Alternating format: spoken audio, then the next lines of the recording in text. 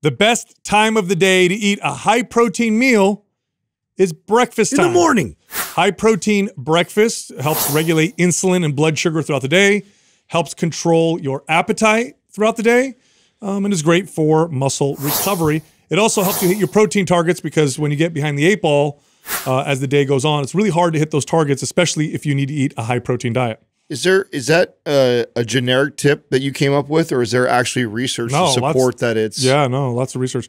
So, um, lots of studies showing that if you start the day with protein, the ups and downs you get in blood sugar, regardless of what you eat. So, if if you eat high sugar later or whatever, the ups and downs are more bl- are blunted in comparison to how they would be had you started the day with a high sugar, high carbohydrate meal or no meal whatsoever. So, what it does is it helps regulate blood sugar throughout the day regardless of what you eat. Now, why is that important? Because blood sugar highs and lows definitely contribute to behaviors um, that can, like, for example, Energy levels for sure. energy levels, irritability, uh, cravings, and hunger. So when you control those, you're you're you're in a better place to make better food uh, choices.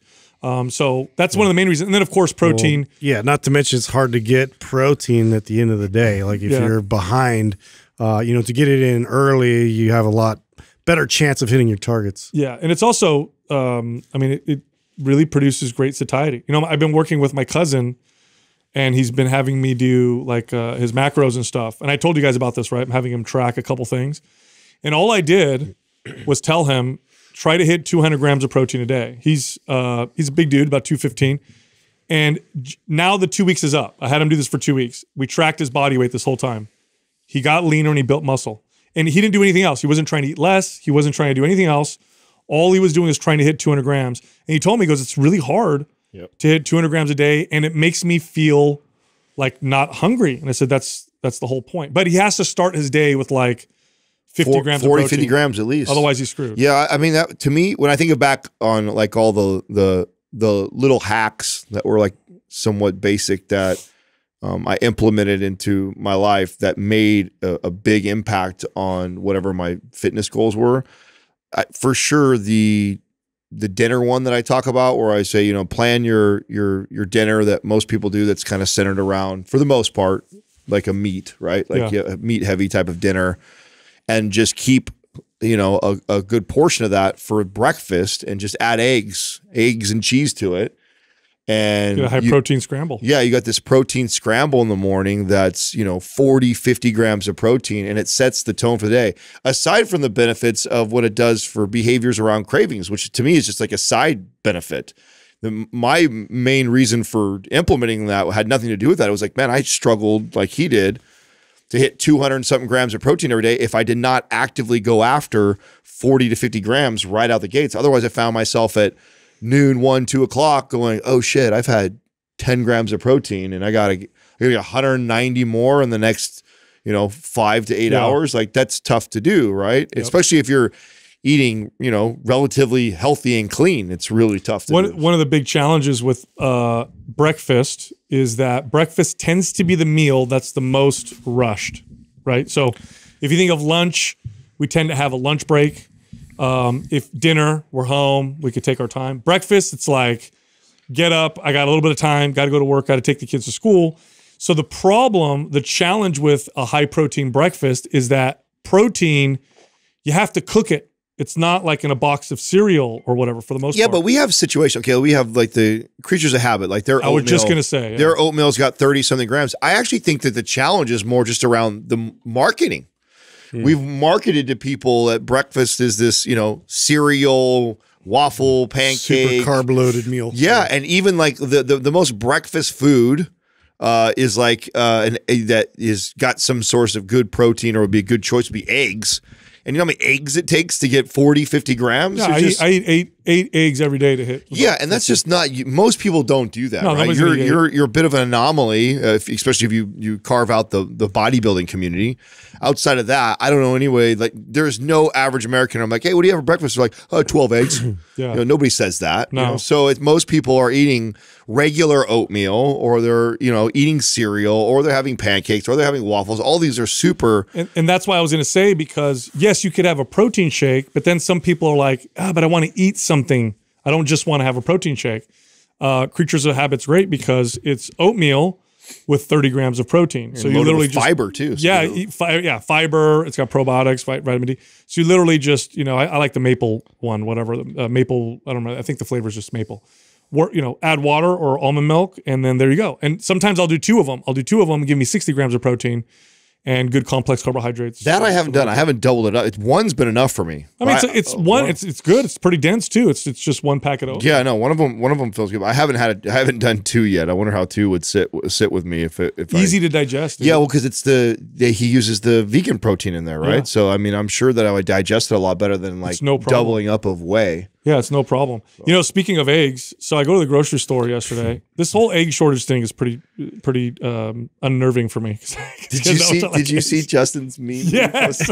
I just saw it. I was in the restroom. I started laughing. Oh, loud. dude, I saw it. Oh, like, you I did not go post this. there. You did not go That's there. what I was yeah, I'm going there. I'm, Oh, s- I'm gonna throttle down. was that was that a listener that sent it to you? Yeah, I love our audience, dude. Yeah. that you know the coolest, maybe the coolest thing about reaching it's fun. the size that we have is that we have gathered enough thousands of people that are like-minded.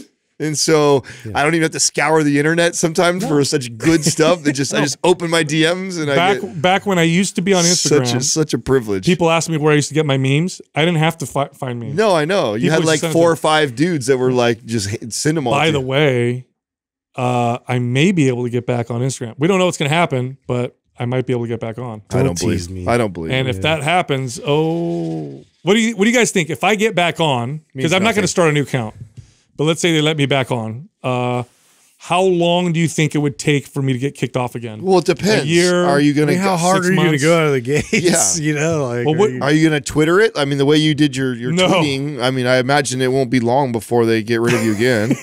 so if you go that route, um, you know, I, the, you know the thing that I think is most interesting to me about that whole situation is actually the how insignificant it is. I mean, kudos to the the model, the business model that we built because uh, obviously nine, ten years ago, even before Mind Pump existed, you know, I turned on yeah. YouTube and Instagram and Facebook with the intent of building a business around it. And of course, if I'm building a business around it, I would think that it would require that monster to keep going to I had like a hundred something thousand followers, and I was pretty active. You know, Yeah, yeah, people no, were on it for but sure. I they booted me, and it really didn't touch the business, which No. is great. And I think if you own a business, that you need you should set it up that way to where one leg of the business doesn't, especially in social media because they control it. Right, you don't own your content on Instagram or Facebook or Twitter or whatever. They do, and that's a dangerous position. Yeah, I think that's probably one of the biggest mistakes I see young entrepreneurs make right now is,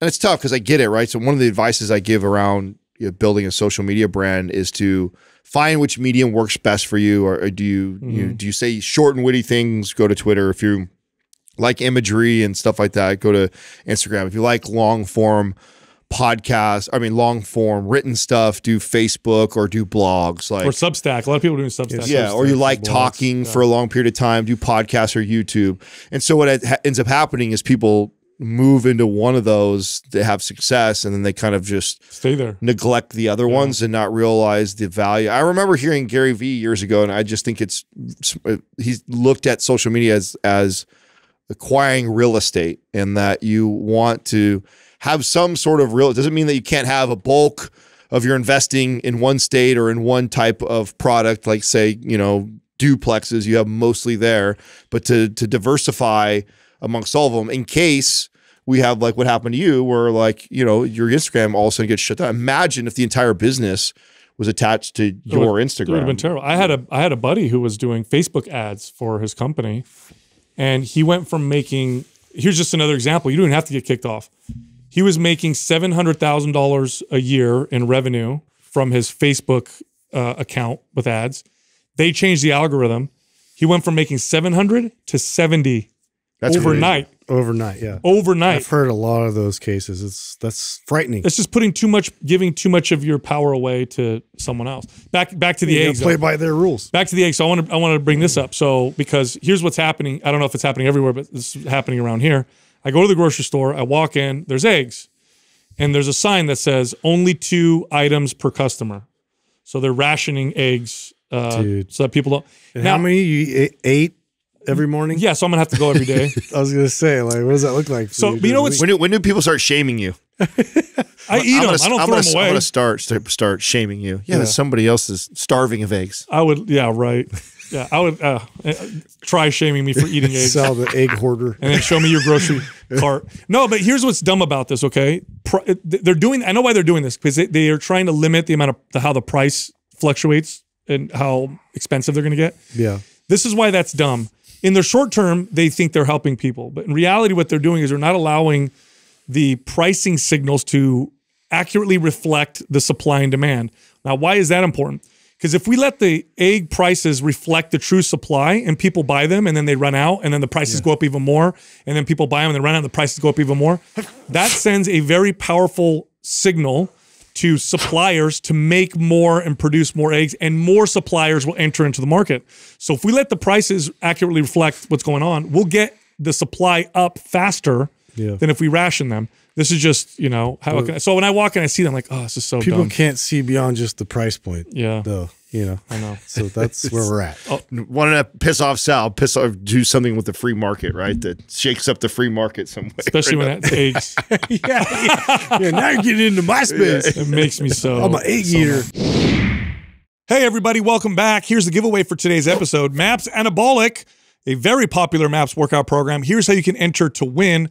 Leave a comment below this video in the first 24 hours that we drop this episode. Also, subscribe to this channel and turn on notifications. If you win, we'll let you know in the comments, okay? We won't let you know anywhere else, just in the comments. That's how you know you won. Um, also, we have these three bundles going on right now. Each one of them gives you up to nine months of planned workouts, so nine months long, and they're all $300 or more off. Huge promotion because it's January, so you want to take advantage of this. If you're interested, just click on the link at the top of the description below. All right, here comes the show. Dude, I got to, did you, oh, you guys didn't even see this. So I'm surprised you guys didn't see this. She didn't tag anybody, but, um, which is probably why. So, um, in our forum, one of our forum members, very fit young lady, followed MAPS Symmetry and she did DEXA scans before and then two months later. So 60 days. Okay. This is all MAPS Symmetry. So she followed MAPS Symmetry. Nothing else really changed. Diet was the same. Everything was pretty good. She gained three pounds of muscle, lost eight pounds of body fat, which is great. But here's the real cool Wow. thing. You guys have done DEXA scans before? Have you? Yes, yes. Okay. I don't So- know if I have. I have. So DEXA scan will show, um, you know, like lean body mass on one side versus the other side. Yeah. So to give you an example, her left leg had uh, 18.7 pounds of lean body mass. Her right leg had 19.2 pounds of lean body mass. After MAPS Symmetry, the left leg 19.1 pounds of lean body mass. The right leg 19.2. Almost became completely balanced. Wow. Same thing happened to her arm That's sick. where the arms went from the left being smaller than the right. After MAPS Symmetry, right and left were identical. So it literally balanced out her right and left as evidenced Did by. you send that to Doug? Wow, I was you're trying to right. find it That on the is like forum. the I wanted to see perfect it. I didn't example. see it. Did you? Do you see it, Doug? yeah. I don't. Her name is Amber Horton, and um, she's in our private forum, and she posted What this. a cool way to, yeah, assess that too. I do. I encourage people if Yeah, you what a have great idea. if you have access because the DEXA scan is the only thing that'll show. Oh, you pulled it up there, Doug. What what does the right uh, the right the left arm? I kind of cut it off. Did it show there? That's uh, that's Andrew, not Oh, me. Andrew, sorry. Six pounds of lean body mass on the left arm, 6.3 on the right arm. After MAPS Symmetry, 6.3, 6.3. So everything literally balanced out. That's cool. You know what's wow, cool? look at her. like 18.7, 19.2, then 9.1, 19.1, 19.1. Now, how big of a difference do you think will, this will make on things like barbell squats, deadlifts, bench Of press, course, overhead right? press? Of course. Yeah, you're much more balanced. Like your output's going to be louder because it's like, you know, you're getting it from both sides equally. Now, here's something else about this that's that dawned on me when I saw this. Because she's obviously very fit. She's not a beginner. So she, she doesn't look like that because she did MAPS Symmetry. She's already really fit. And you'll see if you watch this on YouTube, we'll post her picture. But here's what's interesting. A- after a certain point, when you've been working out for a while, it's really hard to build muscle. This is an, a phenomenal way to uh, basically introduce novelty and bring up a weak body part and then just add muscle to your body. Had she not followed MAPS Symmetry, she would not have built as much muscle because her body was already so accustomed to doing things bilaterally. See what I'm saying? Yeah. So because she did the unilateral training and the way we design MAPS Symmetry is really bring balance between the right and left. Because she did that and it was so novel, not only did she balance right and left out, she also built more muscle had she not done that at all. Had she followed some other program, even one of our other programs. Right, she would have kept prioritizing the That's same right. way she lived, which one would build up the stronger side and That's not right. necessarily get that cool- kind of game. Isn't that awesome? Yeah. Yeah, yeah. I didn't even. So if see that. anybody's following MAPS Symmetry, try that. Go get a DEXA before and after and see it, how balanced out it makes the right and left. And then, of course, aesthetically speaking, when things are more balanced, um, we all know that symmetry. Well, we don't all know, but science shows that symmetry is a, is a very strong predictor of what you know people would consider beauty, right, or aesthetics. So it really balances out the body Yeah. remarkably. Isn't that cool? Wow, Yeah. that's really cool. yeah, I thought that was uh, that was uh, pretty rad. Dude, um, did you guys see? So, okay, I, I'm not sure if you are familiar with this one guy who got like a viral video out there. He was a homeless guy. His name was Kai.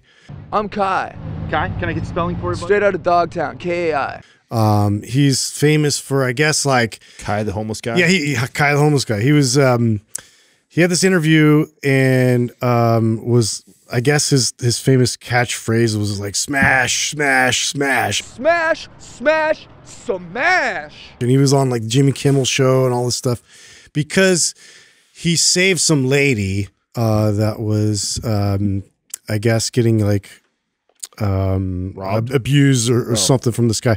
It, th- the story is crazy. It goes back to like show you like how um as as media picks up on these kind of like viral sensation people like they don't do a lot of good investigation and homework on the actual character of the person no. first uh, and so it unfolds later and you start to find out like what a absolute creep this guy was Oh, really? yeah and like how so So everybody was like, "Kai's great." He's yeah, awesome." originally he was like in a van with this guy who I guess so the narrative was like he this guy in this van this um hit uh some some other guys this black guy and they kind of made it like a um like a racial thing like he was like targeting like this this black guy and trying to to to hurt him with with the van and then gets out and then um this lady comes over to help seeing thinks it's just an accident. And then the guy gets out and and starts attacking the lady uh, that's trying to help. And then kai the homeless guy that's in the car gets out and then like he has a hatchet on him. And so then he hits the blunt side of the hatchet on top of the guy's head like twice and then turns it and, and hits it with the other side which then leaves like a gouge in the guy's head anyway the guy goes to the hospital all this stuff the the media picks it up as like this heroic story right like like kai like saved Wait, this lady wait, wait, wait, hold on. That was the good thing. I mean, he defended her, but holy shit, he used that Exactly. Exactly. right. So, so a little bit of a red flag. Like the guy's a little violent, you know, like he's got a little bit of violent uh, tendencies here. he used just to act. swept over because, yeah, whatever they just wanted to create and run with. Doug, can you be pulling up some articles for me or something like this while he's talking about this? I haven't. Yeah. So it's really a fascinating um, human psychology kind of like documentary. Like it goes through this whole thing of like uh, how he just was this crazy rambunctious kid who would like. So you get one story from one person that was like his mom was abusive by locking him in his room, and uh, and then her story is that he was so unpredictable and crazy that she had to lock him in the room, otherwise he was going to hurt himself and other people. And so it's like, He's a convicted murderer. yeah, Oh, and he's a hitchhiker, not a not a bum. He's not homeless. Oh, He's a well, whatever. hitchhiker. That was the that was like the title of like it was Kai the homeless guy. But yeah, he's he's a uh, hitchhiker. Wow. Oh, okay, so it still makes sense. So he's just he's probably he's a nomad, right? But he's a nomadic. Yeah, he's, He's- not like he Right, right, right. Where was this out of, Justin? uh, and, L.A. I believe. and was the this is like a net? They did like a Netflix documentary on it. yeah, Oh, okay. yeah. So the Netflix documentary gets into all the details and everything. But I just I thought it was crazy because it's like he's this viral sensation, and then like in, and everybody was gonna pay him so much money to be like interviewed and all this stuff. And the, half the story is just all these like networks trying to get him, and he wouldn't like agree to it. And then finally, one person can find him because he's like this uh, nomadic hitchhiker guy that like nobody could find. And so this this guy like that was his uh, like like had some connection to like a Jimmy Kimmel show. Finally gets him and then gets him on the show. And then uh, And he's a murderer. later on, like his rise to fame, just like completely. I'm always super Plummets. skeptical of of stuff. I I think it's so interesting how we um you know glorify the famous actors and actresses and you're we're quick to jump on because it makes a good story. It's like oh my god, or even like when people ask me questions about like you know uh, you know what athletes do you admire or what you know it's like I, there's I just. I don't admire athletes. I mean, I, I respect and think it's amazing what they do. I don't by any means for their athletic skill. and yeah, I don't take anything from from what they do on the court. I think it's uh, you know, like Michael Jordan is that's where I, Yeah, I get my dude. how to be a better father. yeah, like I, there's I don't Exactly. admire him, right? Like I respect his game, and I'm like, wow, that's crazy, that's so sick, like that's cool. But I don't because of that what he, his discipline to become great at a sport or great at acting or fill in the blank. I don't all of a sudden translate it into like I should admire this person, you know, or I should emulate It also does, who they are as a person because they have this one and characteristic. it, yeah, and it doesn't mean they're great at anything else. right. So I mean, they have one great, that is great characteristic that made them like stand out from everybody else, but they could be terrible at all these other things. Dude, so, you know how how Yeah. weird is it that a few like a I don't know I don't know six decades ago or so it was not uncommon for people to hitch rides. I know. Like people used to hitchhike all the time. oh yeah, all the time. You, you know How what's funny that? about that too is like uh, we didn't have like that immediate information access either. Like I guarantee it was way more dangerous than they Way more. they presented it back even in the Bro, seventies, right? was- That's like the the start of all the serial killers. it was so accepted. This is real now. This is a toy that It's was so created. dangerous. They created a toy in the 60s. I don't remember the name of it. Maybe Doug could find it. But literally, a kid would fill out a form with their name and their address and whatever, and they'd leave it somewhere, and people would. The, the the the toy essentially was that it hitchhiked all the way back to you. So you'd travel somewhere, drop it off, and then people would pick it up and oh, I'm going in that direction, and they'd pass it along, and then maybe you'd come and get it and be like, oh, it came back to me, and then parents realized this has my kid's name and address on it.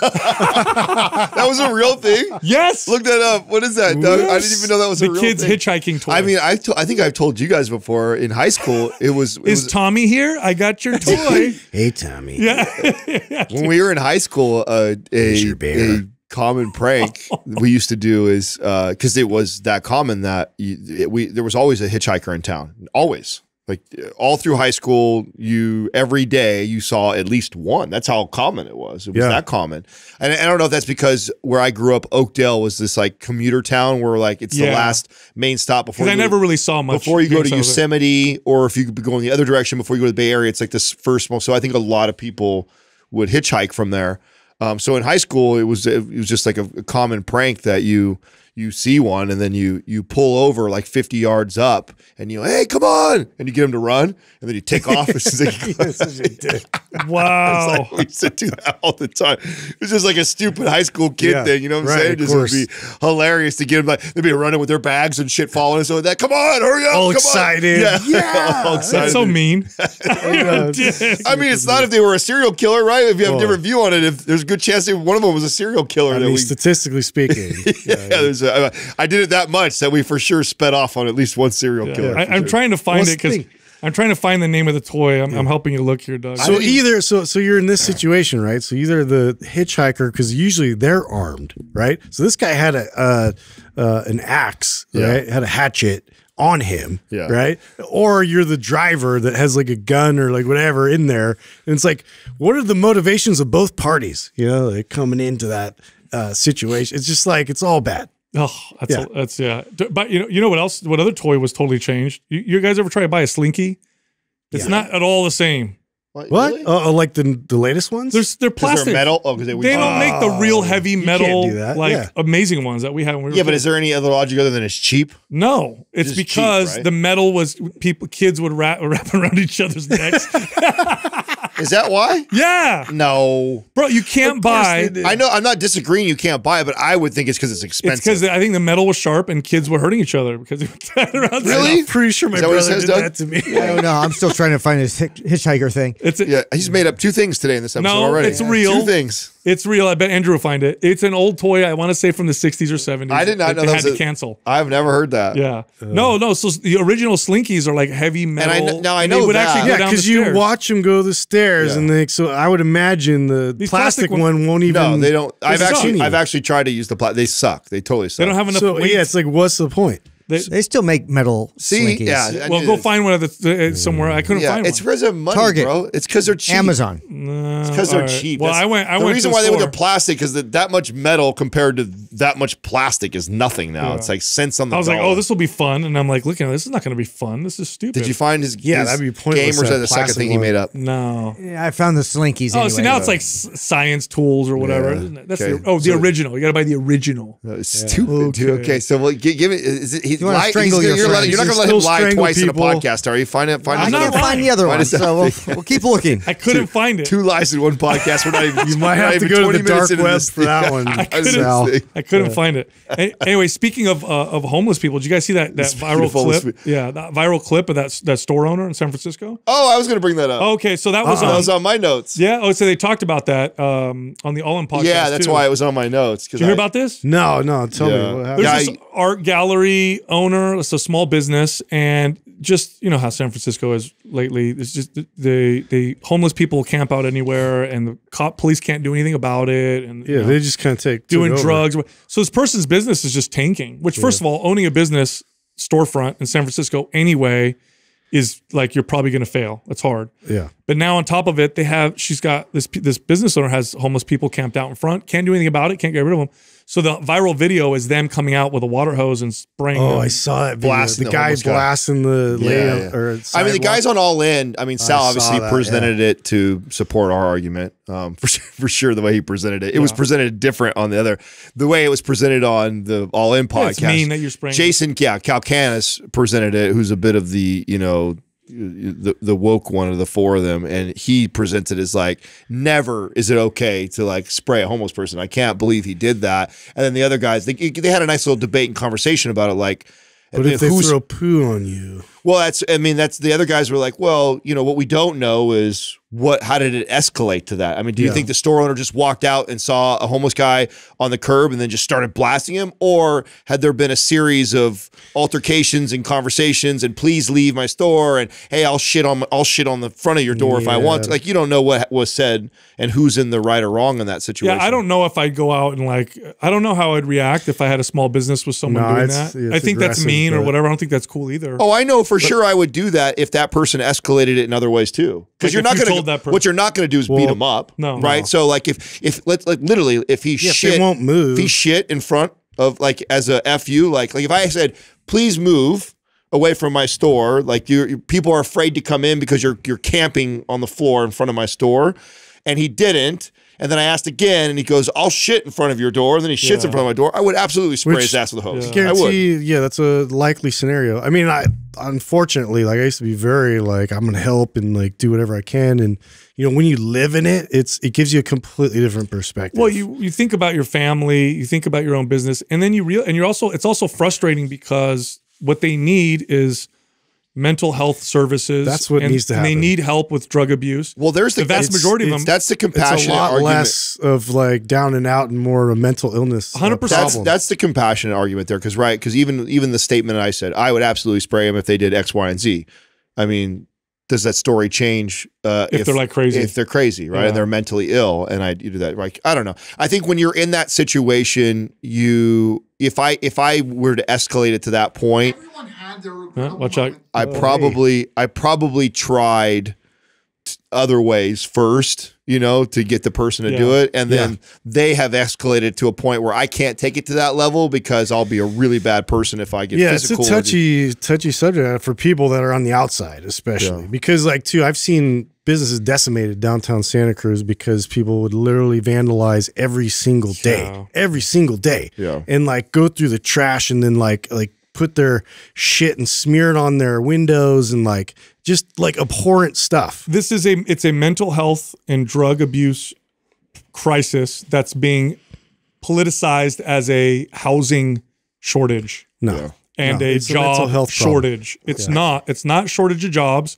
It's not that there's a shortage of housing. It's that they that there's lots of mental illness, and then the and especially in San Francisco, the ease of access to some of these drugs. In fact, mm-hmm. they will give you drugs. Yeah, mm-hmm. They will they they will put you in an area and they'll give you a supply of drugs and money. Madness. And so you'll actually there's actually people Enable you. interview and and they'll take them down on social media. But the interviews, if you see them before they get t- taken down, are these homeless people like, oh yeah, like why would I leave? They I get free drugs, I get Yeah. I get money to buy food. There's no stipulation. They're not saying, hey, you can't do drugs here if we feed you or whatever. So um, there's an issue there, uh, and, and I think they need to be put in mental health um, services. I wouldn't mind paying for that at all, Right. because that would help the issue. Otherwise, we're stuck with this. Like, what do you do? Hundred percent agree. It's, Yeah. that's the the only solution I see, and it's just really it, it, it- everything I've seen personally, and like everybody that lives within the proximity of it. It's like it's just it's not there. There's not a lot of them looking for uh, aid and help to get on their feet or anything, which is what you would hope. You're not in the right state of mind. So to ask them if you're if you're if you're in that place, if you've ever dealt with somebody like a friend or family member that's really addicted to substances or is just not all there, they they don't want help or they don't even know that they need help or Yeah. they think you're crazy. Yeah. So it's like, what do you do? What do you do at that point, right? So Oh, it's a tough. yeah, really, really tough uh, situation. Uh, anyway, I, I was reading this article on at home workouts and the pandemic, which now we've obviously been out of it for a little while, but during that period of time, a lot of people obviously started working out at home. They recently did another survey of these people. The majority of them, 60 something percent, say, I'm going to continue just to work out at home and not go back to the gyms. I mean, it happened to me.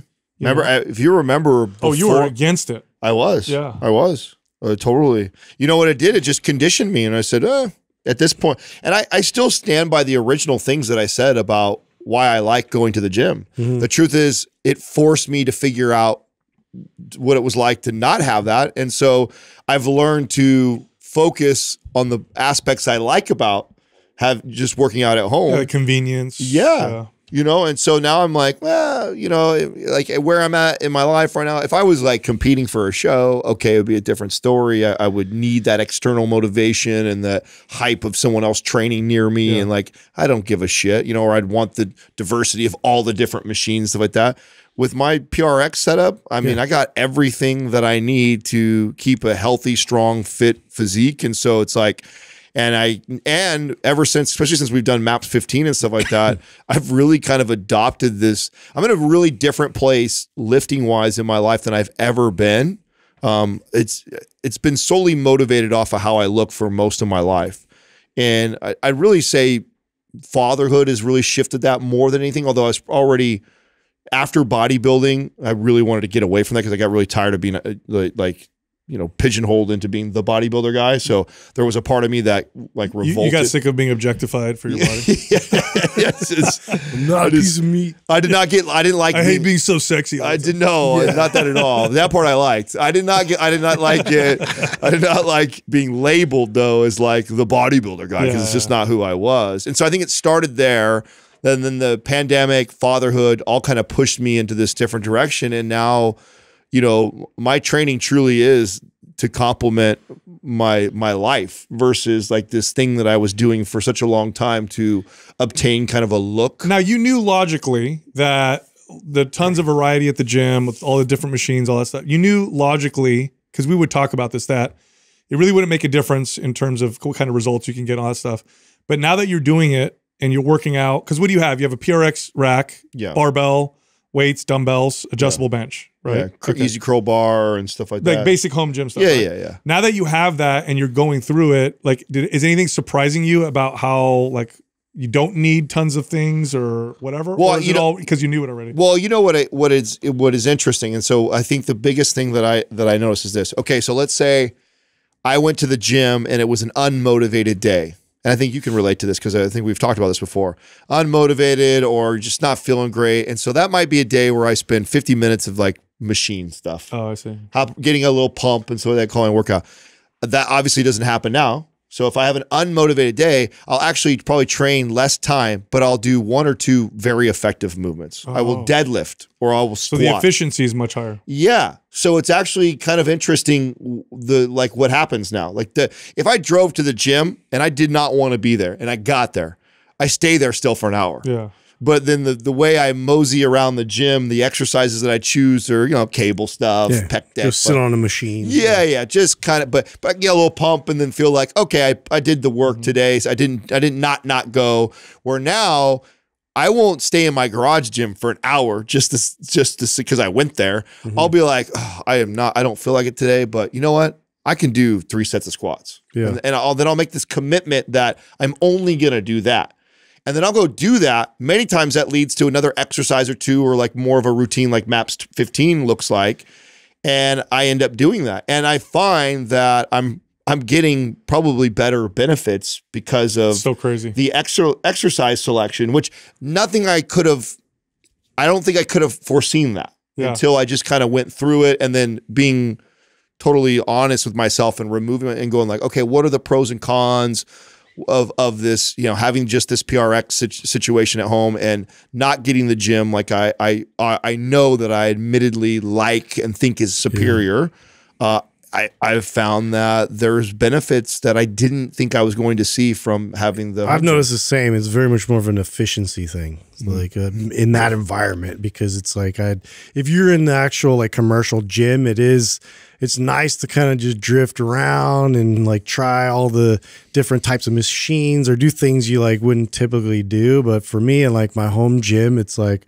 Okay, I'm here. It usually it's like a five by five, or like I'm just doing the compound lifts and I'm out. You Yeah. know, it's like I'm I'm not like no fluff. Like my workout um, time is is gone almost in half. It's like 30 minutes or it's the 15 minute protocol. Have you guys tried? You guys haven't tried the all day workout yet, right? Were were you? I've done so. I haven't done exactly like a protocol like you have, but already a few times, Katrina and I have done these like where you go out and visit? three three to four 10 minute bouts. Isn't it wild? Yeah, no, I, I mean, I, I love it. That's what I mean. Like, it's my way of training is really, it's very unstructured in the sense that I'm not like following this protocol of this is what exercise I do on these days and rest periods and this, that. It's like I have more of this attitude of I understand very much so the value of all these movements. And sometimes I only commit to going in and doing the, that one movement and what that leads to many times either me sta staying in there longer and doing more or i felt so good the rest of my day is energized i find another 10 minute break i come back in do another movement and then go back to my day I'm do my thing come back do another movement I, people need to try this. If you have a home gym, this is hard to do with a gym, gym. But if you have a home gym, what I would do is every other hour, I would do like three sets of two exercises, and they were big gross motor movement movements. So like squats and bench press. And I would do that every other hour starting at 9 a.m. and I would stop somewhere around 4 or 5 p.m. And I'd feed myself in between, make sure I had protein, carbs, the whole deal. The intensity was moderate, so I wasn't hammering myself. The total volume that I would add up of squats and bench press, for example, in that in that scenario, was so much higher than I would ever do during a regular workout because it was so spread out. Mm-hmm. I didn't feel nearly the fatigue that I should have, and some weird things would happen. I would get stronger halfway through, which is weird. After three or four of them, I was like, I all of a sudden got hella stronger. And then the days afterwards, I felt like it's that feeling you get when you do like a new super effective routine where you could tell like, oh, I think I built something or I it's really wild. I I, I if you have you- all day and you have a home gym, you got to try it out. do you it's really think crazy? do you think there's a little bit of a, a a bias for us because we have so many years of experience in lifting that you know that's eh, eh, and maybe if I was like a 20 year old with only a couple maybe a year let's say under my belt of lifting and um, I was following a similar protocol that I kind of do right now which is like I said this you know in to do an exercise out. And do you think that because I've spent so much time under the iron, I've built so much muscle over the years that that's all it takes is a couple big gross motor movements and it kind of wakes up my entire CNS and my all my muscles and it's like, oh, we remember this and then it comes back on faster. I mean, that would be true with any routine, but I, I you know, I'll make this argument. but I mean that's I'm saying that because of that I I see even more value from that. And maybe when I'm 20, I'd be like, this isn't doing anything. You know what? I'll make this argument. Hmm. Imagine all of us were training a, a kind of a relatively new 20 year old kid, maybe some athletic background, but no strength training. Now imagine doing an hour workout with them versus three 20 minute workouts spread out morning, afternoon, and evening. Same volume, same everything. Do you think you would be able to get more out of the three 20 minute workouts or out of the one 60 minute workout? Yeah, the 320. Yeah. So I- I- that's how I feel too. I feel like fatigue because fatigue is a strength and muscle building killer. This is why when Yeah. you that's why you rest between sets. That's why you. So I feel like you probably would get better results. Performance would be way better. The only reason why nobody works out that way is it's extremely inconvenient. Nobody Yeah. wants to work out three or four times. That's why I say take a day. You have a home gym. And then experiment. Take the day off and be like, I'm going to do this all day, and in between, I'll eat and watch TV. That's what I would do. And uh, I did it a few times with Jessica, and it was it was crazy. you know, speaking of that, do you see the? I, I don't know who shared it. I saw it on social media. It's making its rounds right now, uh, and of course, it's how this this is how this stupid game works.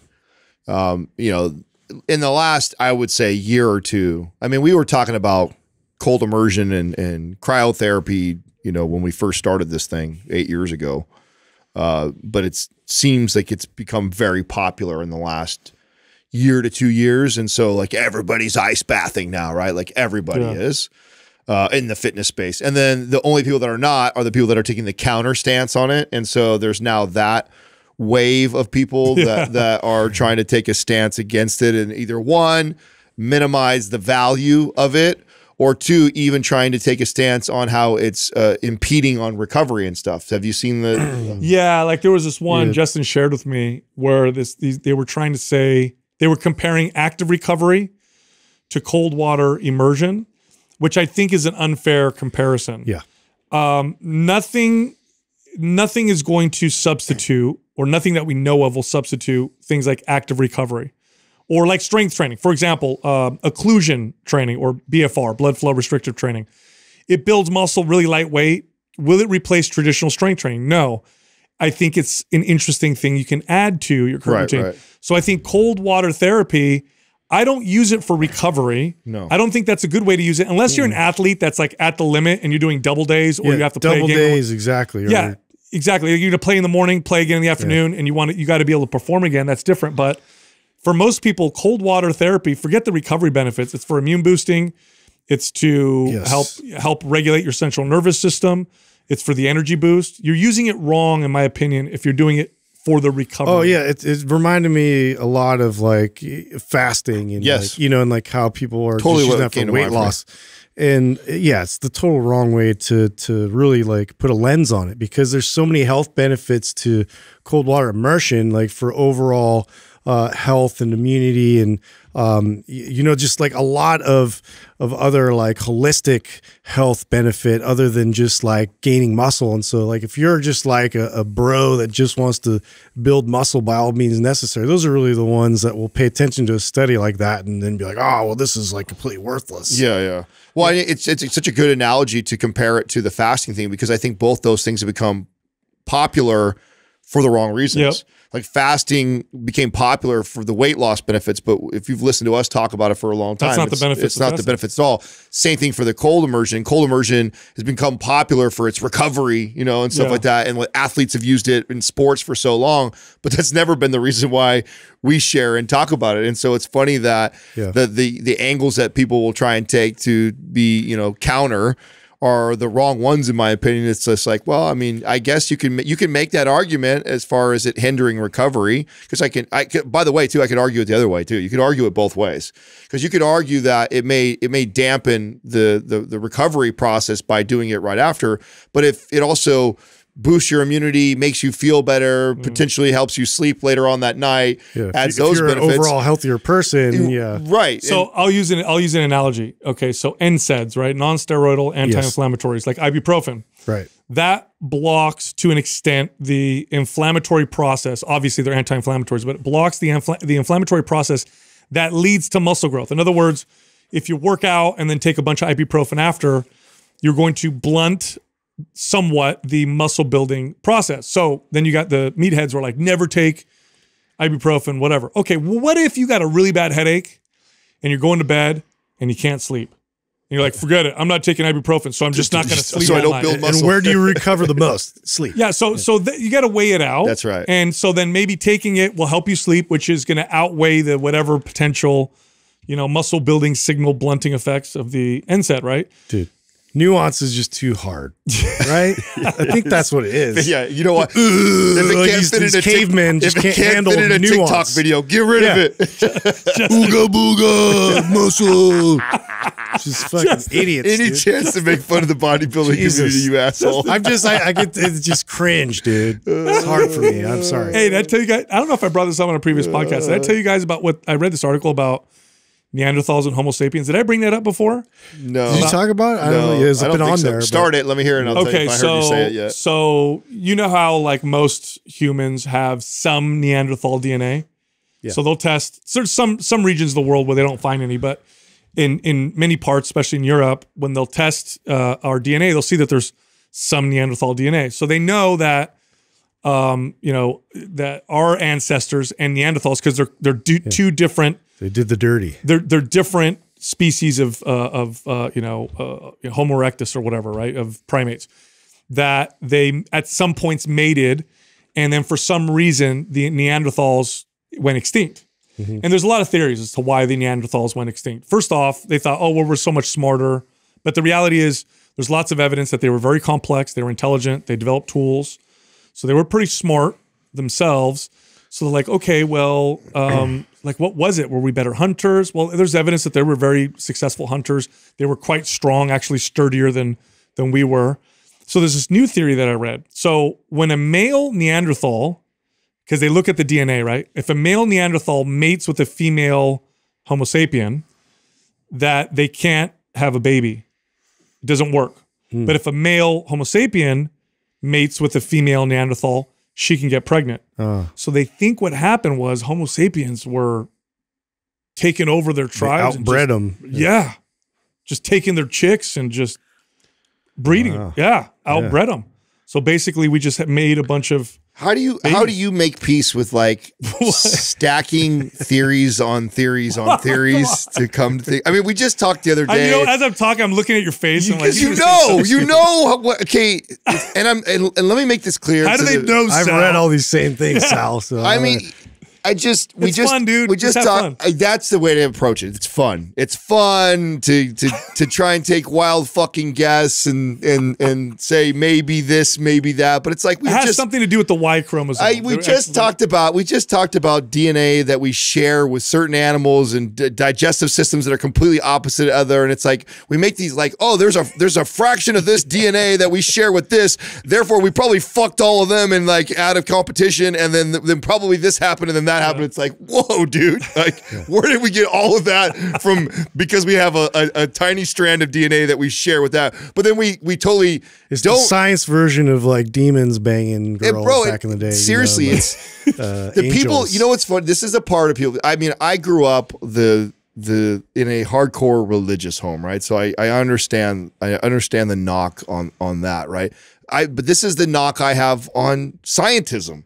Is that people adopt these ideas and theories and are so staunch about it because it's science based, and it's like you're no different than the religious fanatic Yeah. when you talk like that. Yeah, well, Like, actually, that do you mean- not hear that? Yeah, no, I know when people get all like uh, like uh like sure about it. Oh, that's that's what happened. Like, well, we No, I know you're Dude, not like that came either, up with so- our idea. Yeah. hilarious to me because it's not science. Because what we're doing is we're speculating, creating narratives for things that we weren't there to actually prove.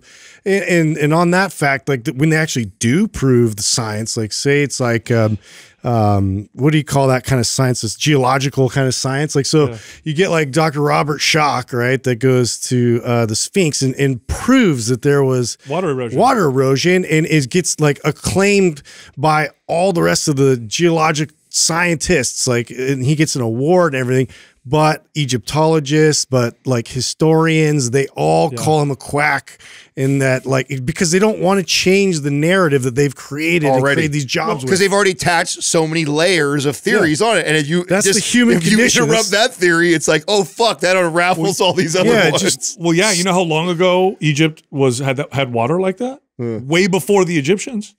So then, if that's I water think erosion, that's like the the the the oldest thing the Sphinx. Yeah. They think that's like the oldest thing uh, visibly, like a, a That- statue we have. Yeah. So so basically, if that's water erosion and it's true, then the Sphinx existed there before the Egyptians Yes, did anything. Maybe they found it, and that's why they built their exactly. And then civilization. they built their civilization around it. Look at Adam right now. and then, and then probably why they've worshipped them as gods. And Yeah. stuff like that, 'cause Well, how the fuck did Gobekli this massive thing Tepe fucked up everything for them too, because it's like it, it, it just predates everything they had even before that. So it's like, yeah. what do you? How do you reconcile? I mean, that? I think my th- my point of like even challenging or saying or questioning any of that is not that like I'm not like necessarily arguing or debating that that's not potentially true. It's just that you know it's so interesting to me. I find it interesting, especially in the science community. Obviously, I'm in a lot of that, right? So I see and hear, and it's and coming from somebody who was from a very religious background, I see so many parallels. Yeah. And it's and it, it- the irony is how how staunch each of them are Yeah. about each other, and it's just like how how much alike because it's you a really reflection of, of your own behaviors. Yes. you don't like your bad behaviors, So and you two- project that on other people. Two things. Have you ever seen the meme that someone made that said, if scientists used bones of common animals and put them together the way that we did with dinosaurs, this is what we think they would look like? You ever seen that? So they'll take like elephant bones or like a bird. And because we don't know what dinosaurs look like, we guess Yeah. what they look. Could have been covered in feathers and colorful. and wow. Hilarious. That's- so you'll see that's like great. I wanna check animals you know of. And Yeah. you're like, oh, that's so that's uh, them like the- recreating what they look like. yeah. Yeah. So that's hilarious. So okay, so I've heard of that before too. here's here's uh, just to back up kind of what you're saying, Adam. So obviously our ex, the- you know field of expertise is health and fitness. You the science space when it comes to nutrition has been off so many times, and yet they were so sure that they were right. Yeah. It's ridiculous. Now we now have a food pyramid. Did you guys see this? Thank you for bringing this up. dude. They- this is absurd. they are they created an algorithm or they created a way to rank foods in terms of healthiness, quote unquote healthiness. And according to the way that they rank foods, Froot Loops is healthier than steak.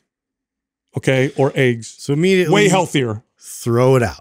Okay, so I, I shared with you guys already. If you haven't looked at it, um, I haven't read the full article, so I don't have a very strong position either way on this. But there's a doctor who I don't like. Actually, He's annoying. yeah, he is very annoying.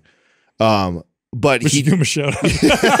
That'll be our shout out for today. yeah, I just don't. I just I I whether he thinks he's helping or not. I, don't know. I mean, first he's of all, if you wear a lab coat and a stethoscope on TikTok videos, you automatically should get slapped. In my opinion, just I don't. Hey, give we a should fuck. do- I don't give a fuck how smart you are. If you have to wear a lab coat and a stethoscope in your TikTok videos, Can we you should get Can slapped. we do videos with this with, the, with like a stopwatch hanging around our neck and a dumbbell on our shoulder? It would be like me. It would be like me holding my bodybuilding trophy while I'm talking all the time.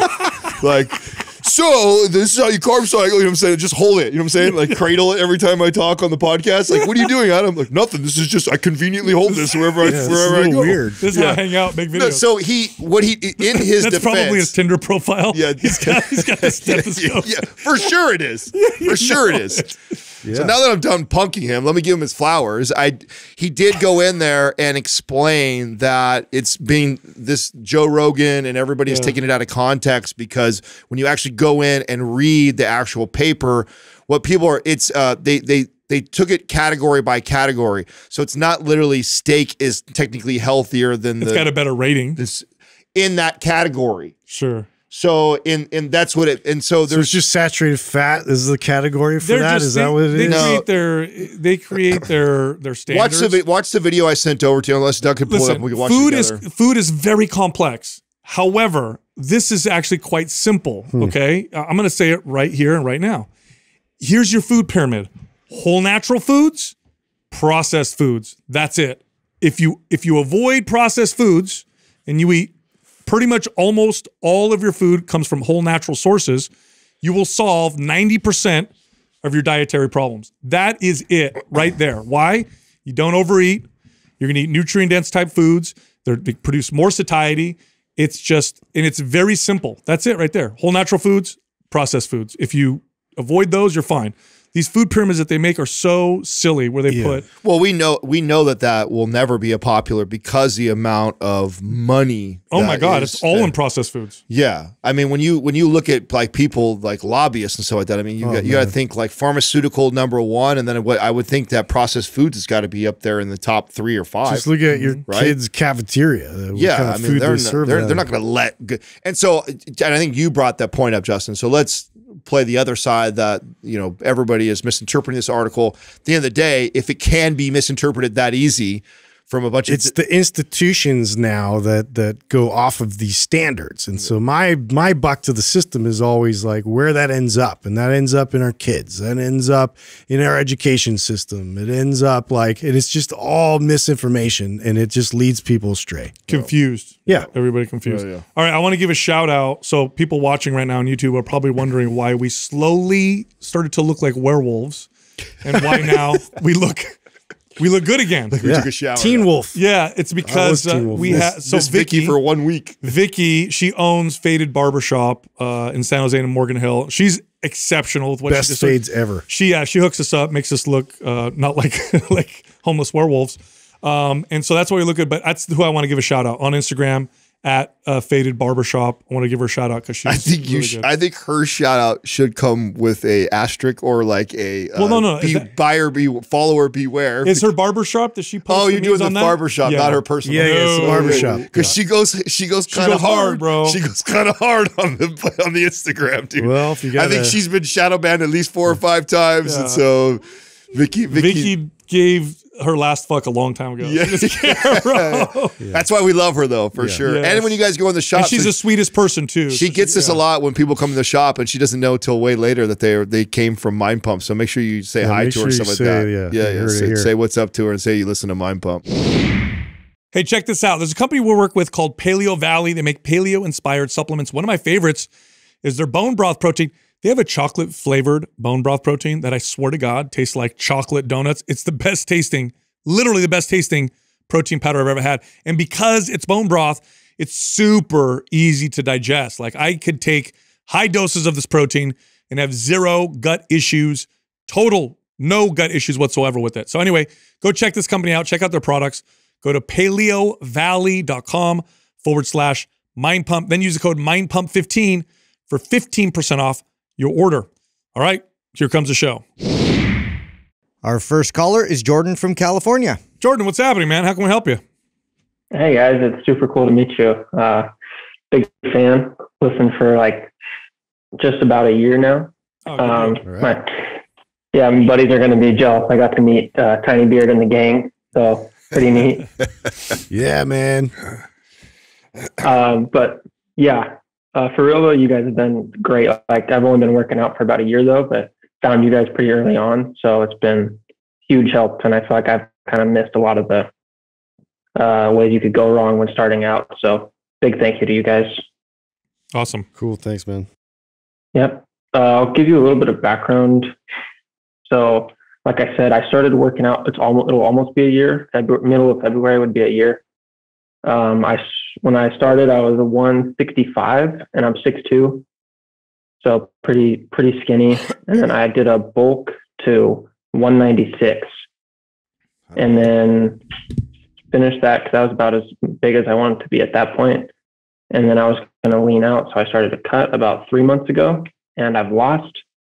I'm right. Well, right now I'm 184, and I've been losing about a pound a week, which I've heard is pretty is like kind of the benchmark or whatnot. But uh, I don't feel like I've been any leaner. Like I'm just losing weight, but not seeing any getting any more lean. so I'm just Ah. wondering what I'm doing wrong. This is such a classic. Um, do you remember we talked about that? We've talked Yeah. about this before. Uh, I don't know if we've talked on the show or not or, as much, but uh, it's such a, a a mind fuck when you shift from you know bulking to leaning out, and that first you know even couple months like. You just feel smaller. You do. You and let me explain what's going on, right? So you come on, you you you're on a high calorie diet right before this. So you your your glycogen levels are your stores are filled out. So your muscle bellies are filled out. You got all these extra calories. That means your body's holding on to more water.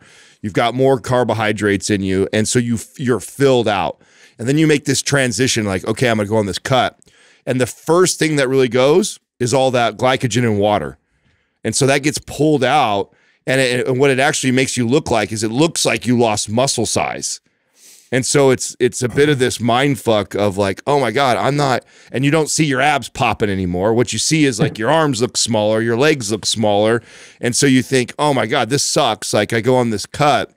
And by the way, this is super common for lean guys who want to build muscle. They go on the bulk and they go on the cut. And it's the reason why a lot of them can't stick with the cut. And, and this was me for a decade mm-hmm. plus. Yep. Is I'd go on a cut for a minute, just like you're right right now, and then I'd be like, "Fuck this! Like I'm I'm I'm not getting any leaner. I'm just getting smaller. I'd rather be a little fatter with more muscle." And so you go back the other direction. It's part of the process, and is. And let me tell you, it's one of the for me. It was one of the most difficult things. I had the discipline to stay consistent with the eating and the training. It was the psychological part of it would it would fuck with my insecurity of being the small guy.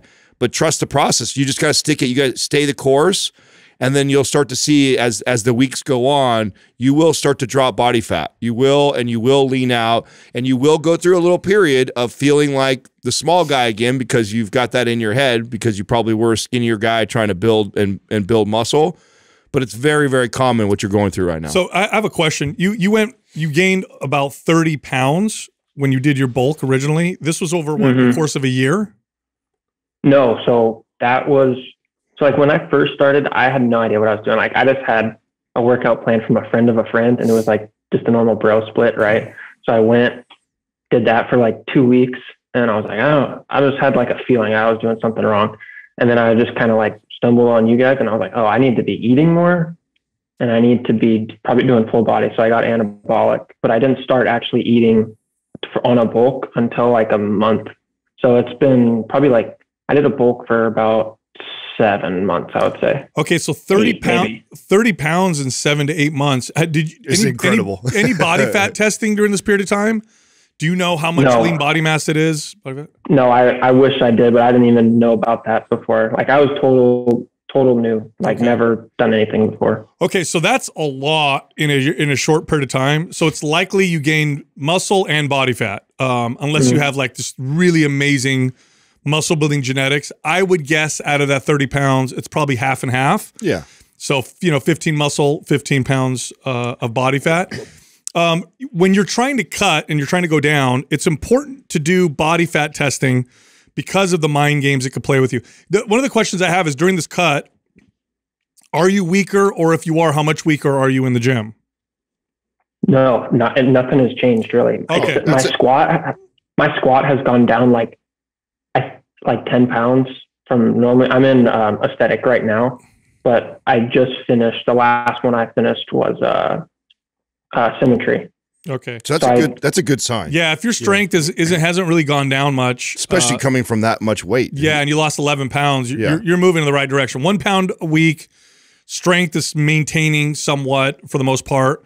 I, Um, I, I, think you're doing all right. I literally think this is a psychological thing. yeah, it is. It's it's you got to so- stick to the cut because Yeah. for me, the first when I would do these big bulks and I would cut the first three to four percent body fat, I couldn't even tell. It just felt like I was getting smaller. Yeah. It wasn't Smaller until I got and to weaker, that's and the weaker. word. Yeah, so it wasn't until I got to like eleven percent that I could be like, oh, I can see what's going on. Once I get to ten percent, then I'd be motivated by the definition that I would see in the gym. But until I got there, it was like I'm just gonna wear sweaters and t-shirts because I because the way I would feel would be like I'm wasting my time, and so I never really did a, a- an effective cut for a long time. I never really pushed it to see how lean, lean I could get until I was uh, much older. You know that's you know that's what a lot of the the body like a lot of us that like, competed. This is actually part of the strategy. You and you might if you know anybody that has this. We'll we'll go in all hoodied out like that, and part of that is at least for me. This was the psychology of that is like I don't even want to I don't even want to get distracted by the way I look because Right. I know my own insecurities of being a small guy,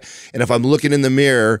And I'm comparing myself this week in this cut Right. to what I was looking like, like just say four weeks ago when I was in the bulk. I know I like the bigger, thicker version of me because I was the skinny guy who always wanted to be. But Yeah. I know, but I know I need to lean out. So I just, so I would cover up in a hoodie and stay that way, and so I don't even look at my look at myself while I'm training. I just focus on the training, focus on the diet, focus on the training, and then when I like mm. Sal's point, then you get to a point where you start to get really leaner than you've ever been. Like when you start to hit levels of leanness that you've never seen on yourself, then it's remotivating to peel down to the t-shirt again and see like see the vascularity. think you got bigger. Yeah, and then that that's the part that will trip you out. If you if you stay the course, stick with the process, get as get leaner than you've ever been in your life, and then watch the people come to you and go like, "Bro, you got huge. Oh my god, what did you do?" It's a trip because and you're going to go like, "What? I was 196 and now I'm like 175 and you guys are saying I'm bigger. Like I'm not bigger, but you you will look bigger because you've you've you've leaned out." I mean, this has always been a deterrent for me to cut. And I remember you having to walk me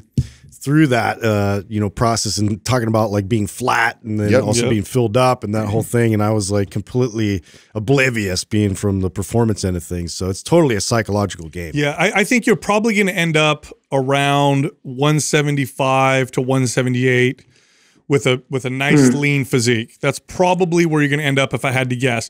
Because you haven't tested your body fat, this is a guess.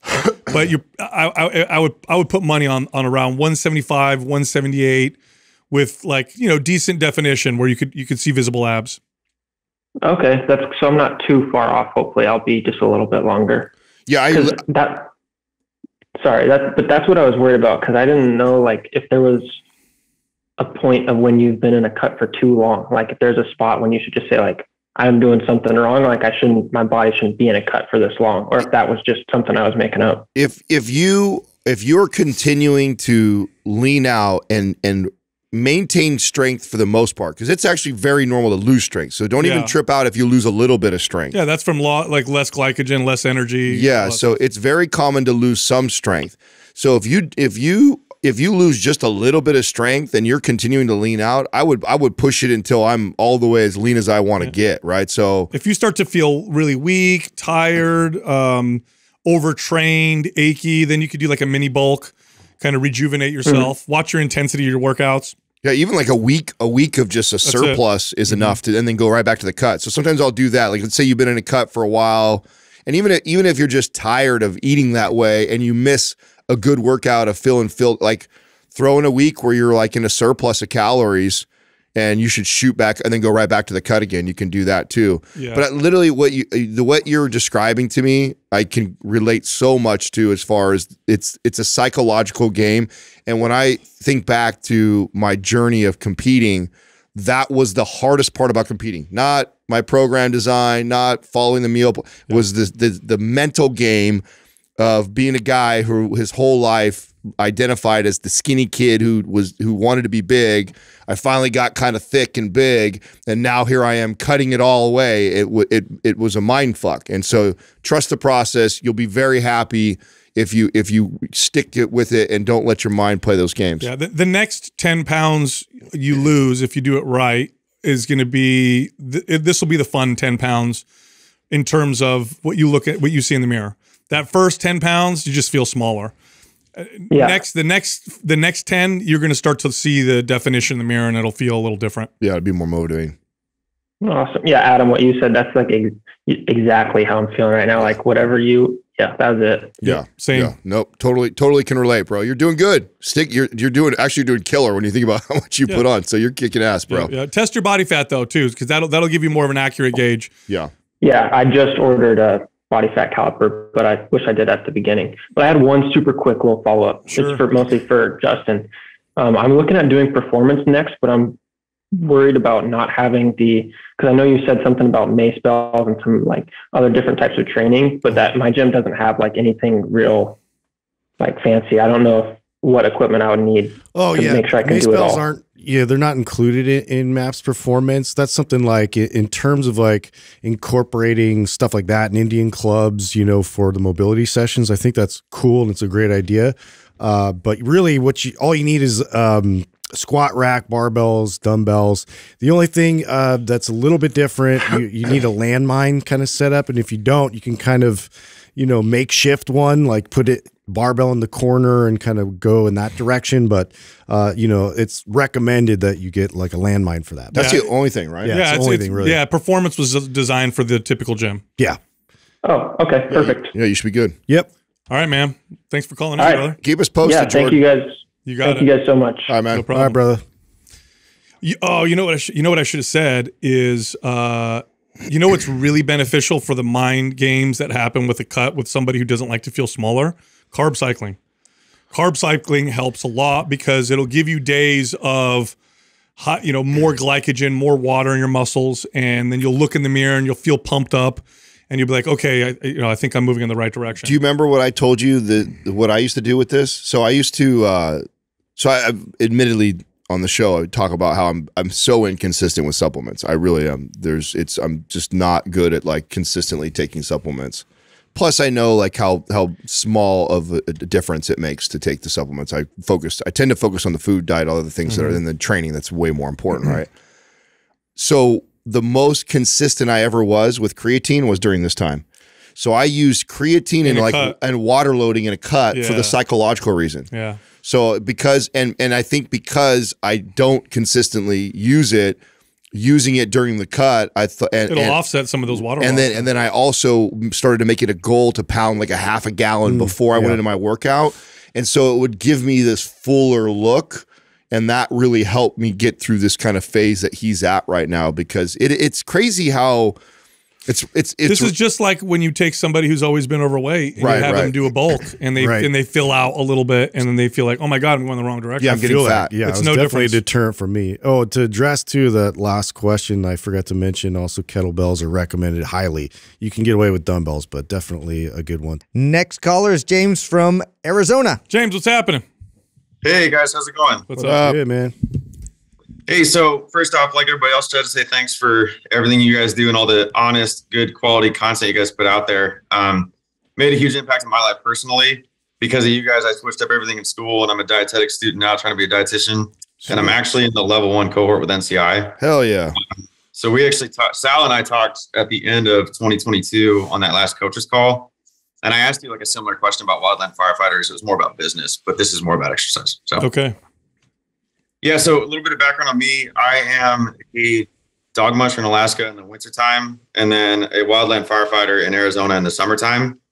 Um, so for me, as far as like seasons of life go, we're kind of coming up on the preseason of fire. So the season starts to peak up and ramp up in May. Um, but between now and then, it's like February, March, and April. This is kind of like the preseason time. So my big question to you guys was, what is the best way to program for wildland firefighters between now and then? So we got about three months. Did we did we cover this in the episode where we did um First responder. yeah one? first responder? Similar. We did, didn't we? Yeah, Did we- somewhat similar. We did an episode on this and kind of talked about the considerations for workouts.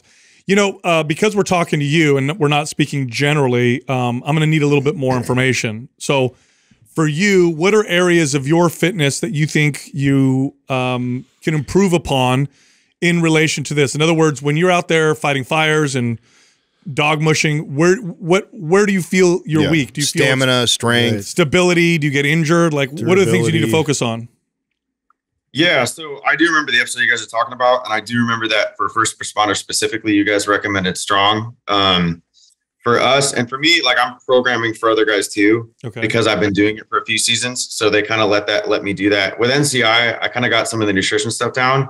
Um, but where we see guys lacking that come in, like the new guys, it's really just on like the the stamina of like we could take anywhere from you know 25 to 50,000 steps in a day, um, depending on the fire. And that could go on for two weeks straight, um, every single day. Okay. So a lot of the times it's just getting the guys having the the the ability to take that many steps with that amount of weight, anywhere from like 45 to 60 pounds and stuff. So usually we see guys coming in and they're lacking in those areas. It's usually the hiking areas. Yeah. All right. Sounds Well, gen- a lot like work capacity. Yeah, that's strong for yeah. sure. Well, okay. So generally speaking, um, what you would do is you would have your, your off season, then preseason, then in season. Okay. So like with any athlete, off Right. season, you typically are trying to build a really strong base and foundation. This is where you're looking to maximize strength, maximize mobility, maximize performance. Okay. But strength is a big one here. So it's like, let's get strong. Let's get really strong. Preseason, we're now moving more, we're moving closer towards what the work is going to look like. So you're probably in this point going to back off on the strength focus and focus more on stamina and endurance. And then in season is all about recovery and injury prevention. So when you go mm-hmm. off season, it's in the gym, it's heavy. You're doing some stuff that's similar to what you do in season, but really you're trying to just get stronger. Okay. When you're preseason, then your training looks a lot like what, what your work. So you're training and practicing with a, a ru- you know, you're rucking if that's very similar to what your your your work looks like. You're training for stamina. You may be doing things like circuits. You're basically trying to get your fitness capacity to match what's going to be required. Then when you're in when you're actually in the season, it's mobility, it's recovery, it's active recovery, and you're not trying to improve anything. One of the biggest mistakes people make is they try to get more fit uh, with their workouts in season. What they need to do is try to maximize recovery, repair, and injury prevention.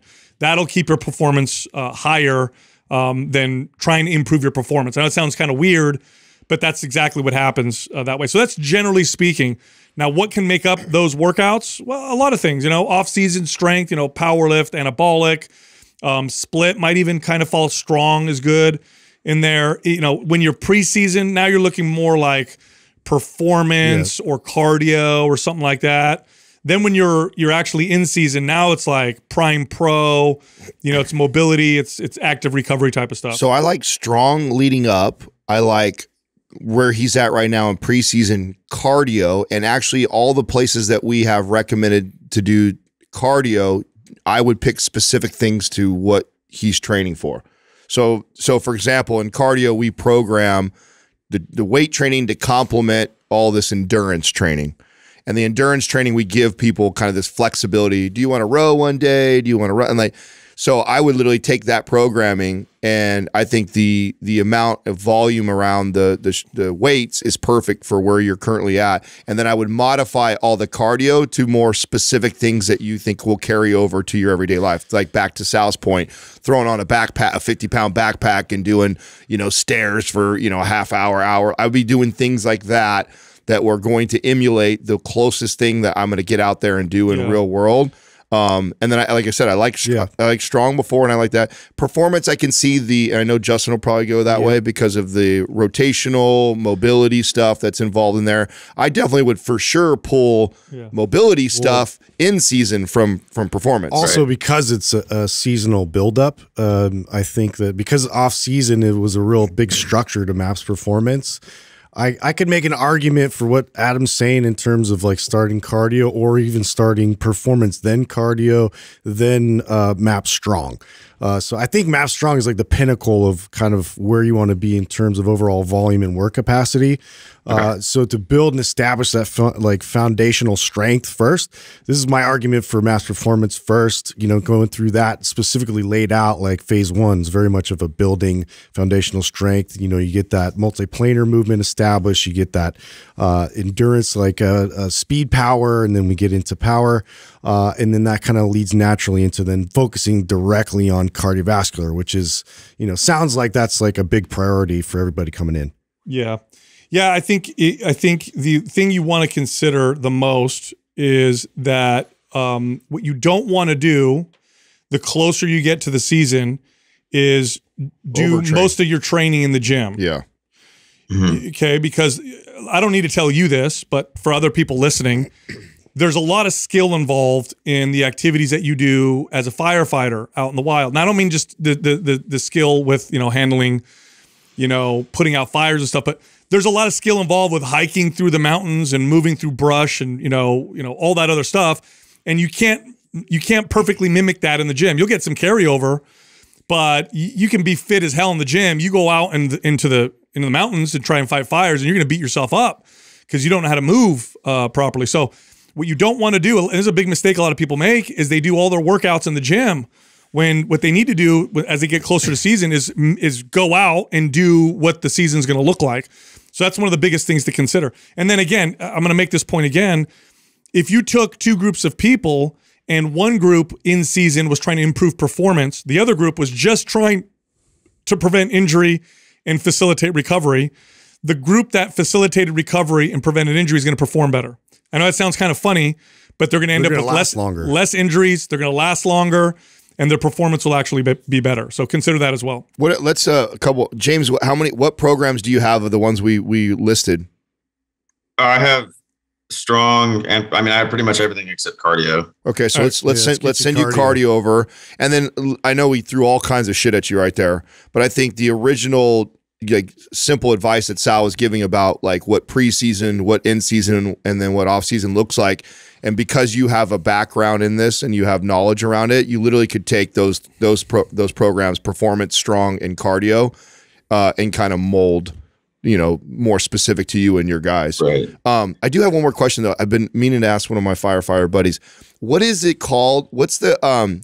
Is it like a competition you guys do? I see every once in a while, like, and then you see them sometimes go viral videos of the like firefighters Where that they run up the yes, where they stairs, run up the Oh. la- where they run up the Ladder, ladders hella yeah. fast. Like, is there a name? Yeah. Yeah. So that's not. So there's a big difference between like structure firefighters and wildland firefighters. Yeah. Okay. So that's more on the structure side. So structure dudes, like they're the guys you see in town, um, like fire medical guys. Wildland dudes are the guys with like the you know the green trucks and the yellow shirts and stuff like that. And you rarely ever see us because we're in the woods and stuff. Got it. Yeah. You Like, guys. we don't usually use like we don't use like I, I can't tell you when the last time I used a ladder. You know we use, use a fire spikes. water. So. You, you guys are like spikes, right? You guys are uh, put the spikes They- on Yeah. climb the trees. Use- yeah, so like uh, you guys would probably you guys are probably seeing around up in Truckee. Um, California gets real busy. Like the season can go. That's just in Arizona. The season's like May until when monsoons hit, like July, maybe early August. But after that, we'll get assigned over in you know Montana or California. And California usually is like October to as late as December, like in 2020. Um, like it, it, it gets real busy. But so you guys have probably seen us around. Um, but yeah, that that ladder stuff is more the the structure guys. So we we can spend the assignments look like 16 hours a day for two weeks straight. So you do the 16 hours a day, but you're working the entire time and you're away from home the two weeks straight, and then you come home for two mandatory paid days off, and then you go back out again for two weeks, and you could do that really for the entire season. Like we, I've Wow. gone 72 days straight getting paid before. Like, Holy it's- Toledo. Maniac. you know, you're you're constantly gone and moving around and stuff. So Yeah. wow. Yeah. it's a lot for the recovery, facilitating recovery, and preventing injury is going to be by. I wouldn't do any additional workouts, honestly. Yeah, uh, with something yeah. like So that. I didn't ask about the in season specifically because I figured you guys would. I figured you like I've been listening to you guys for a couple of years and you would agree. All I had written down for the in season essentially was doing pulling like two, maybe two mobility sessions from performance a week, and then doing four like prime prime pro sessions and stuff like that with the guys, and just doing that six That's times it. a week. I love that, bro. And sleep Yeah. and focusing on on optimizing uh, sleep will be really. Yeah, you guys probably know how to use chainsaws and, and axes and stuff like that really well because so, yeah. you have to, right? Yeah. What does a dog musher do, by the way? I mean, I know what that looks like, but w- Oh. what is that as a job? Are you traveling? Are you taking Um, yeah, people I'm from place to Arizona right place? now, but I go up to Alaska from like I'm going up February and March. Um, and I run sprint dogs. So most people know about the Iditarod, which is like the long distance race. It's a thousand miles. Um, and that one is like eight, it, they do it in eight to 10 days. So the dogs are running over 100 miles every day. Um, and they're, Wow. so their VO2 max, I run sprint dogs, which do 18 to 27 ish miles a day, three to seven days in a row. And their VO2 max is 240 to 300. like they're ridiculously fit and they're, and they like have no, they recover super quickly and they're just incredible athletes. So those are the guys, those are the dogs that I run and we run. So cool. I'm just an amateur dude. So I run like four to six dogs, but you'll have folks running 18 to 22 dogs. Wow. Dang. And and what is what are you doing? Are you are you delivering mail or medical supplies? Like what's the work? Uh, some folks do that. Like some folks still use them in the villages. So like most of Alaska, you can't get to by the highway system. So they still use sled dogs and stuff to, you know, deliver mail or, or medical supplies and stuff like that. But most of us race. So we have um, like races throughout January to April. And we just go around the state and we just um, like ours looked from well, like we have one coming up that's I want to say it's three days and it's for my class specifically, it's like four miles the first two days and six miles the last day. And they time it, they're just racing. So, So it's a lot of fun. it's purely sport for you then.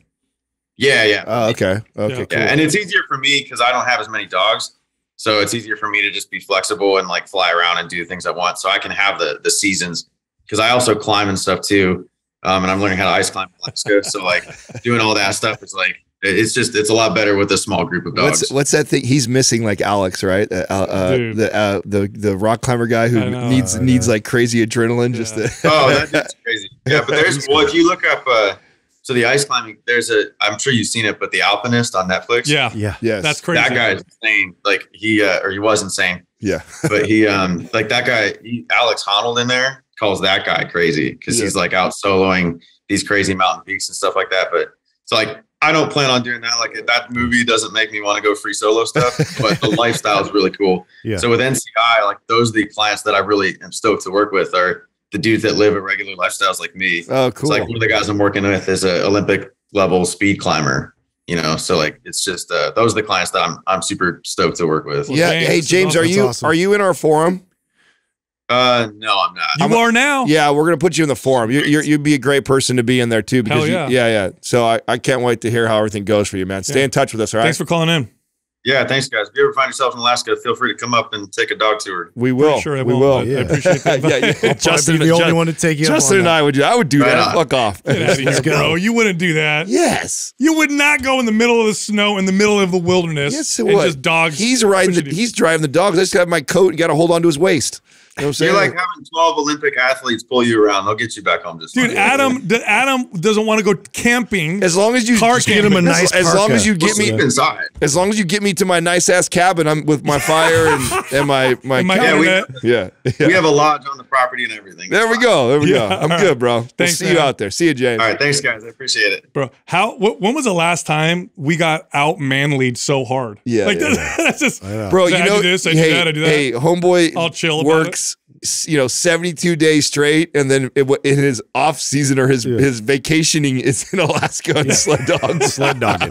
I love it, dude. This That- true outdoorsman. That's Oh, oh, oh, there's definition of like alpha. Uh, too much. Do you guys remember when you figured that out with athletes though? Did you have to figure that out with yourself with your own training first, or because I figure I that took me a long time because I would continuously train athletes and myself like I'm trying to improve performance in season and just oh yeah, yeah. You're trying to improve problems. in season. Yeah. Yeah. I know. Well, that's a very common thing. Coaches like get in that conundrum. It's like you know, kid, they're getting all this like great performance. How can we maximize? And it's like you got to realize that You're just keeping it, yeah, keeping it intact is everything. I actually think this is um you know credit Joe DeFranco. I think Joe was the the person who I probably started to find around around this time in my life when I was starting to figure out the Mm-hmm. the like good protocol for athletes because there really wasn't a lot out there. no, No, There wasn't a lot of good information. void. Yeah, it very was very, bodybuilding training. very very much so. I mean that's the reason why too. I always I always talk and pump the tires of um or uh, Paul Fabritz because it just it didn't exist. There's just not a lot of it. Even today, there's.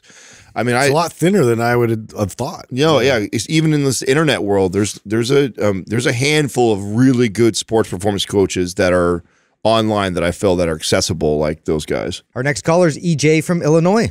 EJ, how you doing? By the way, I think we might have the wrong question up there, Doug. Are you you're EJ and you're almost 52 years old? Is that correct?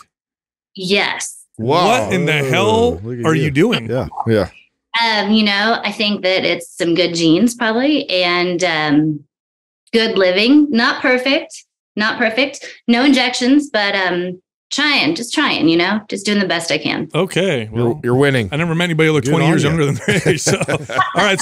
So, what's your Yeah. question? Yeah. Now that we're done flirting, what's your question? Yeah.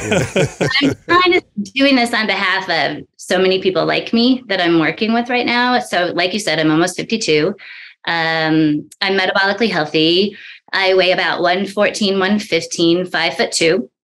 Um, I am a health coach, so I kind of do things fairly right. I did lose a lot of my fitness level though from about 46 to 51 because I felt so fragile. Um, perimenopause just like ate me alive. And in that time, I just couldn't do what I used to do. And I had to kind of get used to a new version of myself. Um, I've been slowly building back my fitness in the last year, and I do feel somewhat better, but my sleep is still elusive. And um, I do all that crap right too. And it's still tough just with perimenopause and hormones. Um, that said, my recovery always stinks as well because of my sleep situation. Um, and I actually am one of those people that works out like I like myself, not like I'm punishing myself. I started with MAPS um, performance, and I really like the mobility part of it, but shifted into MAPS 15 advanced because my kids keep me busy and I just needed to compress the time.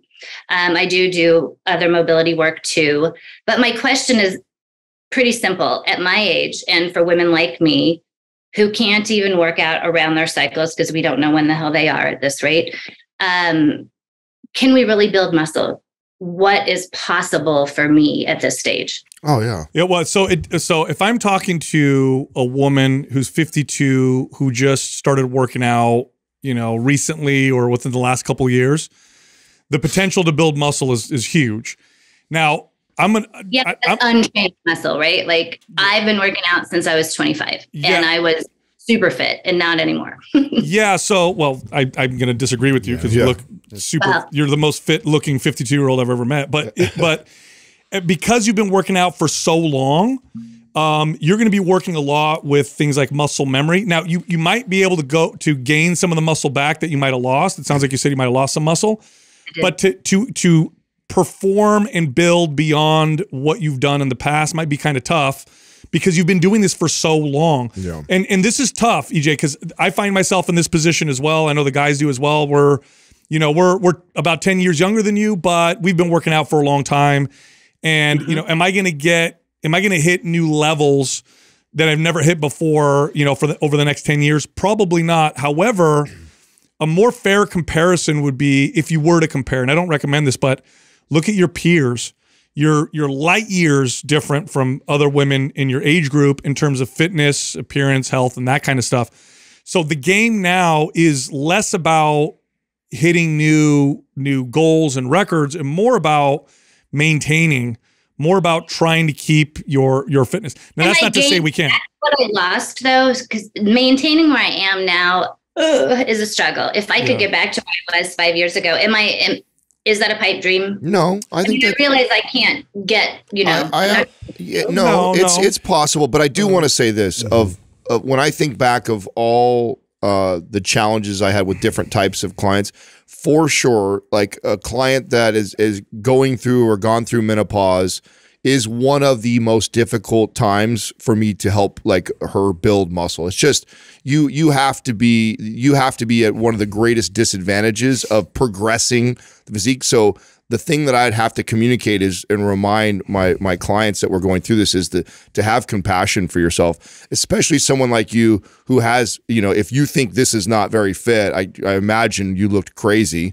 uh, in your 30s or 20s. So you got to get that out of your head of comparing and I yourself. have. I've Okay. tried to de-identify with it and let it go, and that's why I'm here because I thought I have to figure out. But it doesn't. But it doesn't Like- mean that you can't get a lot of that. I I do believe you can. Yeah, Um, because that muscle memory is real. Yeah. And you've been training for so long, you've probably experienced a great deal of muscle hyper, hyperplasia. You know, studies on on people like you, people who've been working out for a long time.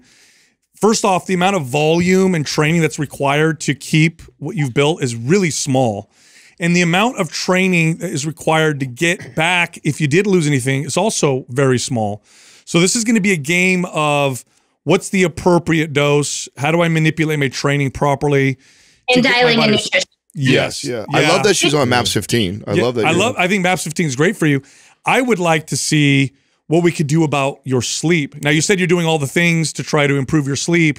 Yeah, and I do it all right to the point that um, I've been chasing it for years, literally, and I'm trying to sit in a different energy with it and reaching out. So again, I'm a functional medicine health coach, so I have like all these clinicians Oh, that I can work with, and I'm supplemented beautifully. I'm on the right herbs. My nutrition is dialed in. Now, I did screw up. I did not eat enough protein last year, and I'm super aware of that, which was working against my goals. That said, you do get less hungry as you get older. It's Yeah. just crazy. So, eating 100 grams of protein or 110 grams of protein, that's a lot. So, I'm even supplementing essential amino acids to to fill in, right? Like I have all the tools available with nutrition. I have all the tools available with sleep. And I'm still feeling like so many people out there like me feel. EJ, E have you tried like biphasic sleeping or trying to make up for it a little bit in the middle of the day Yes, I just get into that. It's a great question. I just shifted into that a couple months ago because I thought I cannot keep trying for this when it's just not possible, and I've been chasing it for so long. So yeah, I have been doing that. I have been trying to roll with my own rhythms more. It's really hard when you have a teenager, right? Oh, like, oh, jeez. I mean, you guys all have littler kids. I think. Wait, one of you has an older kid I have, too, I have, two, I have two teenagers, so I, I, I'm, Okay. yeah. So, like, my body wants to sleep from nine until four. That's happy. Like, that's great. You can't do that. That doesn't work with kids. So, my sleep has really been off since I had kids, and my oldest is almost 15 years old. Um, I am trying to figure out a way to. I've just pushed it, and I've pushed it with hormones. I've pushed it with melatonin and a sleep specialist. I've really, Yeah. So there's I've done all the. This is interesting. So there's some evidence, and this is more, uh, and, and I've seen some some articles. This is a lot of speculation, but there's some evidence that biphasic sleeping, right? So what am I referring to? Sleeping uh, ma- the majority of your hours at night, but then you get naps in the day, and that's where you get your cumulative kind of sleep. There's some evidence that that that becomes more appropriate as we age, especially for women. So there's some theories around why women go through menopause at all, because men can stay basically fertile, essentially, right? Uh, theoretically, till the day we die. Women at some point stop being able to have children, and so scientists have tried to come up with reasons as to why. Like, why is that? What's what's going on? And the best theories are that the role of the grandmother is very important uh, in society and tribes, and her ability to, to wake up in the middle of the night. By the way, this happens to women when they have kids too, before they go through menopause. Anybody who's had a child will know. Women will tell you they don't sleep like they used to at night, and this is a natural thing. They need to be on high alert. They need to be able to hear almost anything because a crying kid in the middle of the night is a dinner bell for predators. Yep. So so the biphasic sleeping probably applies more to women and probably applies especially to women who have gone through menopause or perimenopause. So you if possible at all, could you find a time in the middle of the day where you can do like an hour nap? Cuz that might be it. That might be what you need. try. I try. At first of all, I need to get a pod in the back of my house that I can just go to and sleep in. Like, and I'm not even kidding anymore. Yeah. Um, like that's like some soundproof pod. My family teases me about it. That would be ideal. That said, um, when I watch my sleep when I'm napping, because I do try to pay attention with devices, it's still just light sleep and it does help. I'm not going to say it doesn't help. It helps. But um and my REM and my deep sleep isn't terrible, right? As long as I go to bed early enough. Yeah. It might I might be looking for too much out of that nap, right? Like I feel like Yeah. I might be looking for too much. Yeah, your expectations are high on that. Yeah, and also depending on how consistently you do it, there's some evidence that shows that the more consistently you do it, the better your body gets at getting into or or, or reaping benefits from those naps. The other thing I want to ask you, and you probably know this, you, you've worked with functional medicine practitioners and you've got the, lots of experience with. You you avoid all stimulants, right? Or do you take caffeine still? So the only thing that I do in the morning is I am pretty attached to my uh, jasmine green tea. Okay. Oh, that's And when I say in the morning, I it's usually at 6 a.m. I do have about 12 ounces, and I am a slow caffeine metabolizer. I've had all the DNA Oh, done too. So I that is I feel like I have given up alcohol. I've given up everything. You know what I mean? And so th- that is EJ, try try getting okay. I, so I, I I feel you. You really think that that, that yes that little bit? Yes, because she's a slow Really? caffeine metabolizer too. I am, and I know that. I've seen it on So paper. that means that the half life. So for people to understand that, that means the half life of caffeine for like her double for her. is longer. So Yeah. it's going to stretch out and still be somewhat active in her system when she's trying to nap. Okay. For example, might not affect the s- night I was going to say is it's going to affect the nap. I don't think it affects my nighttime as much, but if I do, I really, and you're right, that's a great. I never even thought about it in that way.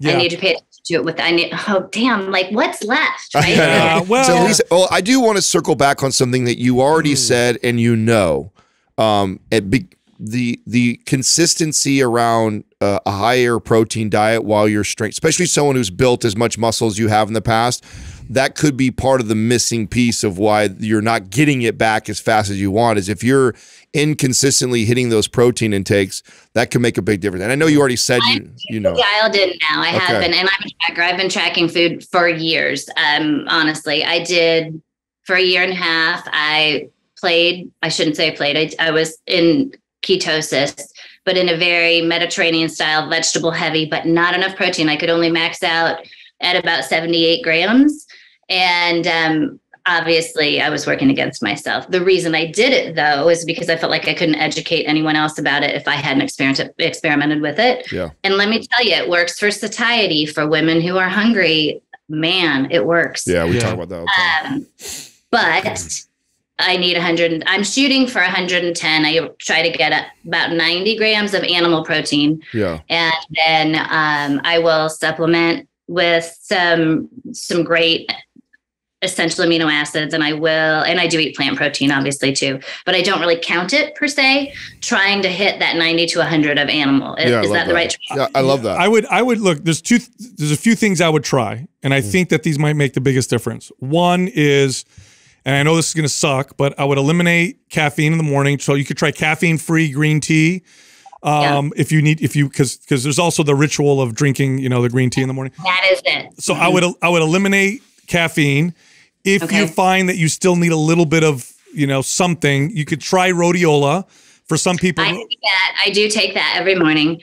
Um, And I know combined with the caffeine, that's definitely affecting the naps, right? Because rhodiola is Yeah. activating. uh, so, So, I, if I could that and then, but dump the caffeine and Yes. So I would do that first. Then the second Okay. thing I would do is I would try to go in a bulk.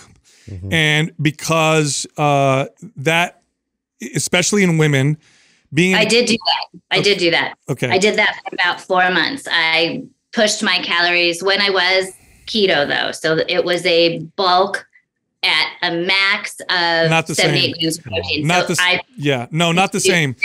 So so the carbs, carbohydrates, especially in women, a, a, a lack of carbohydrates can cause changes in catecholamines Oh yeah. um, and neurotransmitters like serotonin, which you know a little bit of an imbalance there can cause sleep issues as well.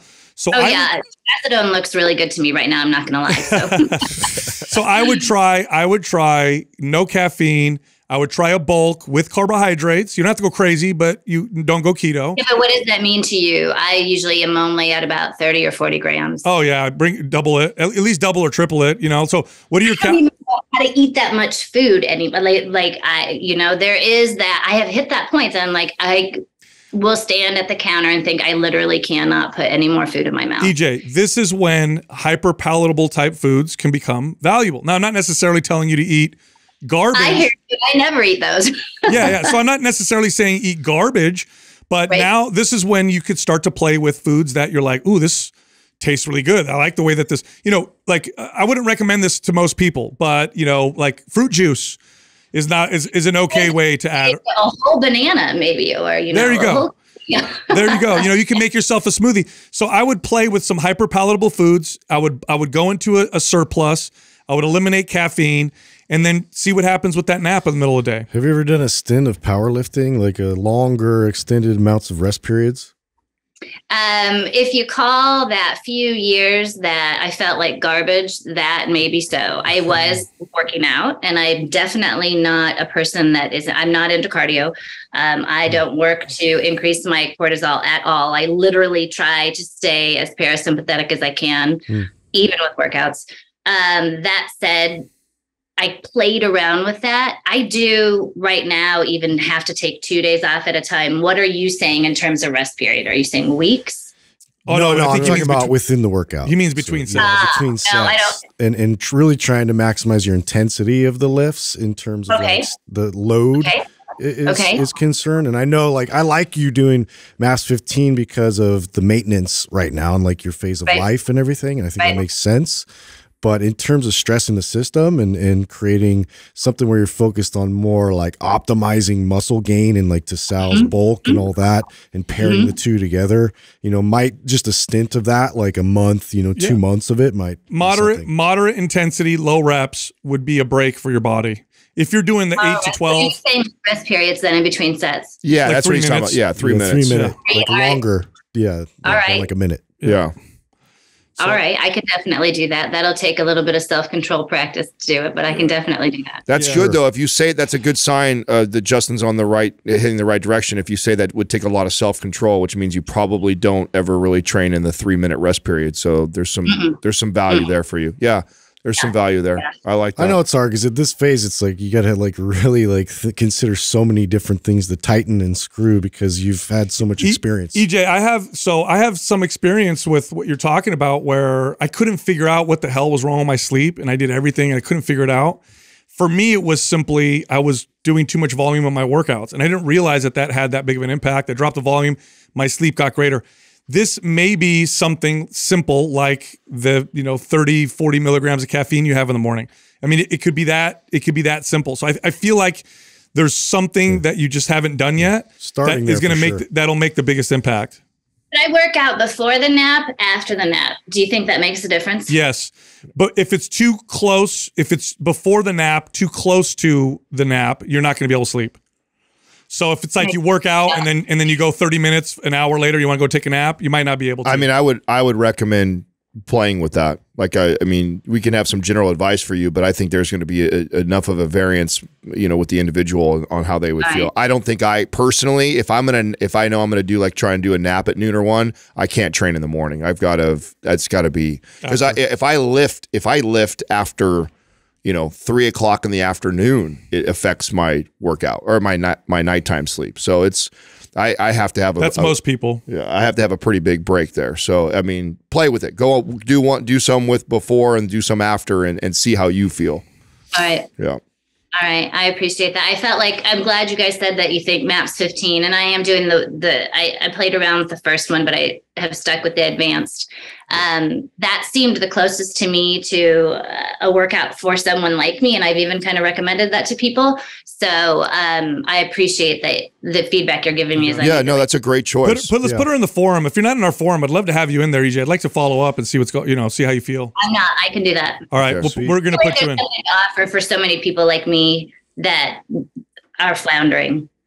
I'm sorry. She, she was I feel like there's a lot for for me to even offer other people in something Yes. like that that are floundering like I am. Oh, I, oh, this is selfish. I, I want you in the forum because I think you're going to benefit the other members in there. yeah, Yeah, yeah, exactly. I also want to hear how you do, but I think you're you'd be a valuable ad. For yeah, sure. yeah. I appreciate You're that. hard on Thank- yourself. Yeah, you're doing great, by the way. actually. Thank you. So, I and I feel like I am. I just, uh, I just, it's been a tough road letting go of who I was and and inviting in who I am and trying to find like where I am in that you, process. you just That's- need you just need tough. you just need a couple young handsome guys to pump your tires a little bit. That's all. So You know, it's funny because I was thinking Definitely about not you us. guys Yeah. too. Yeah. and you have Some younger wives that are not where I am yet. So this is going to be helpful even for them when your wives end up here. Yeah. It's it's a lot. You know, we carry these kids, we grow these kids, Oh, yeah. we have kids, and then here we are, and it's it's a lot.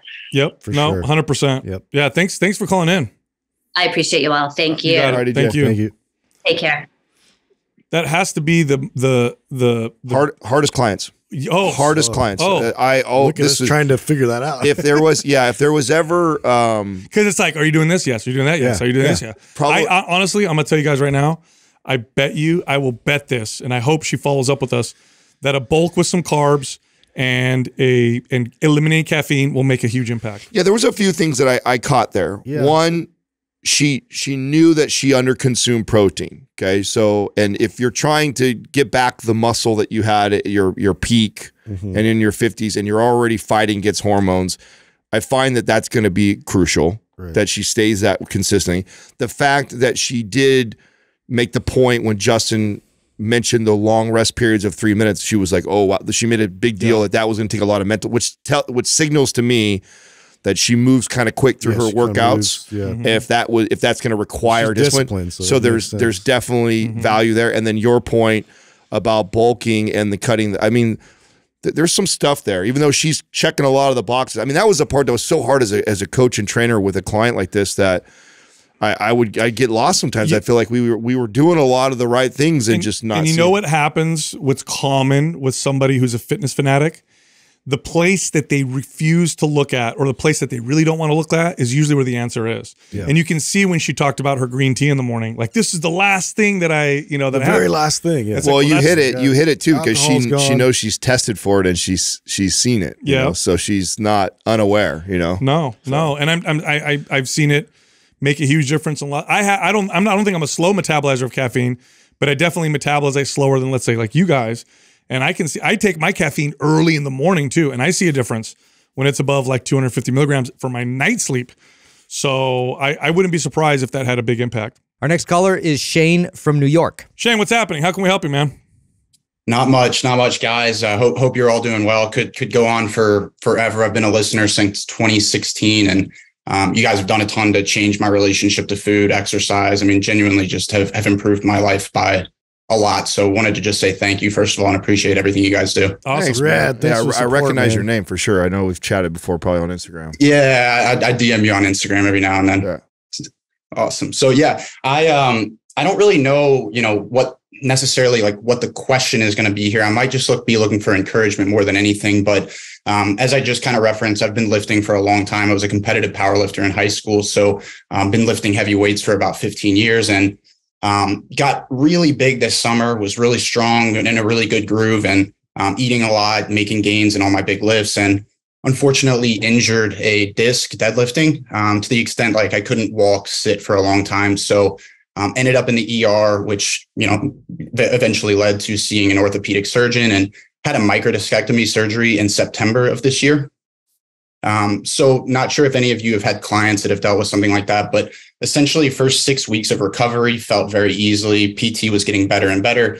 Um, and unfortunately injured myself again. And for the next month was trying to rehab it, but um, ended up in surgery again. So I've had two surgeries on my spine in the last three months. Um, outlook for lifting in the future is obviously quite different now. So um, just was wondering like if you guys have had any clients first of all have surgeries similar to that and understanding like you guys are not doctors or pts and i'll obviously listen to my doctor's advice on all this stuff but um, just curious if you guys have had anyone go through something like that um, adam i know you had the acl surgery so um, just kind of like dealing with some body image issues as i see my body change and kind of trying to think of like what stuff in the future might be helpful um, or even now like while i can't be in the gym ways that maybe you guys have shifted your mindset in situations like this this uh so you I don't actually share Yeah. all of it on the podcast because I don't think we've ever gone too deep on So many this. injuries. But yeah, I actually this is how this is and literally it's around around the same time frame as far as what how old I was. So it started I think 28 was the first one.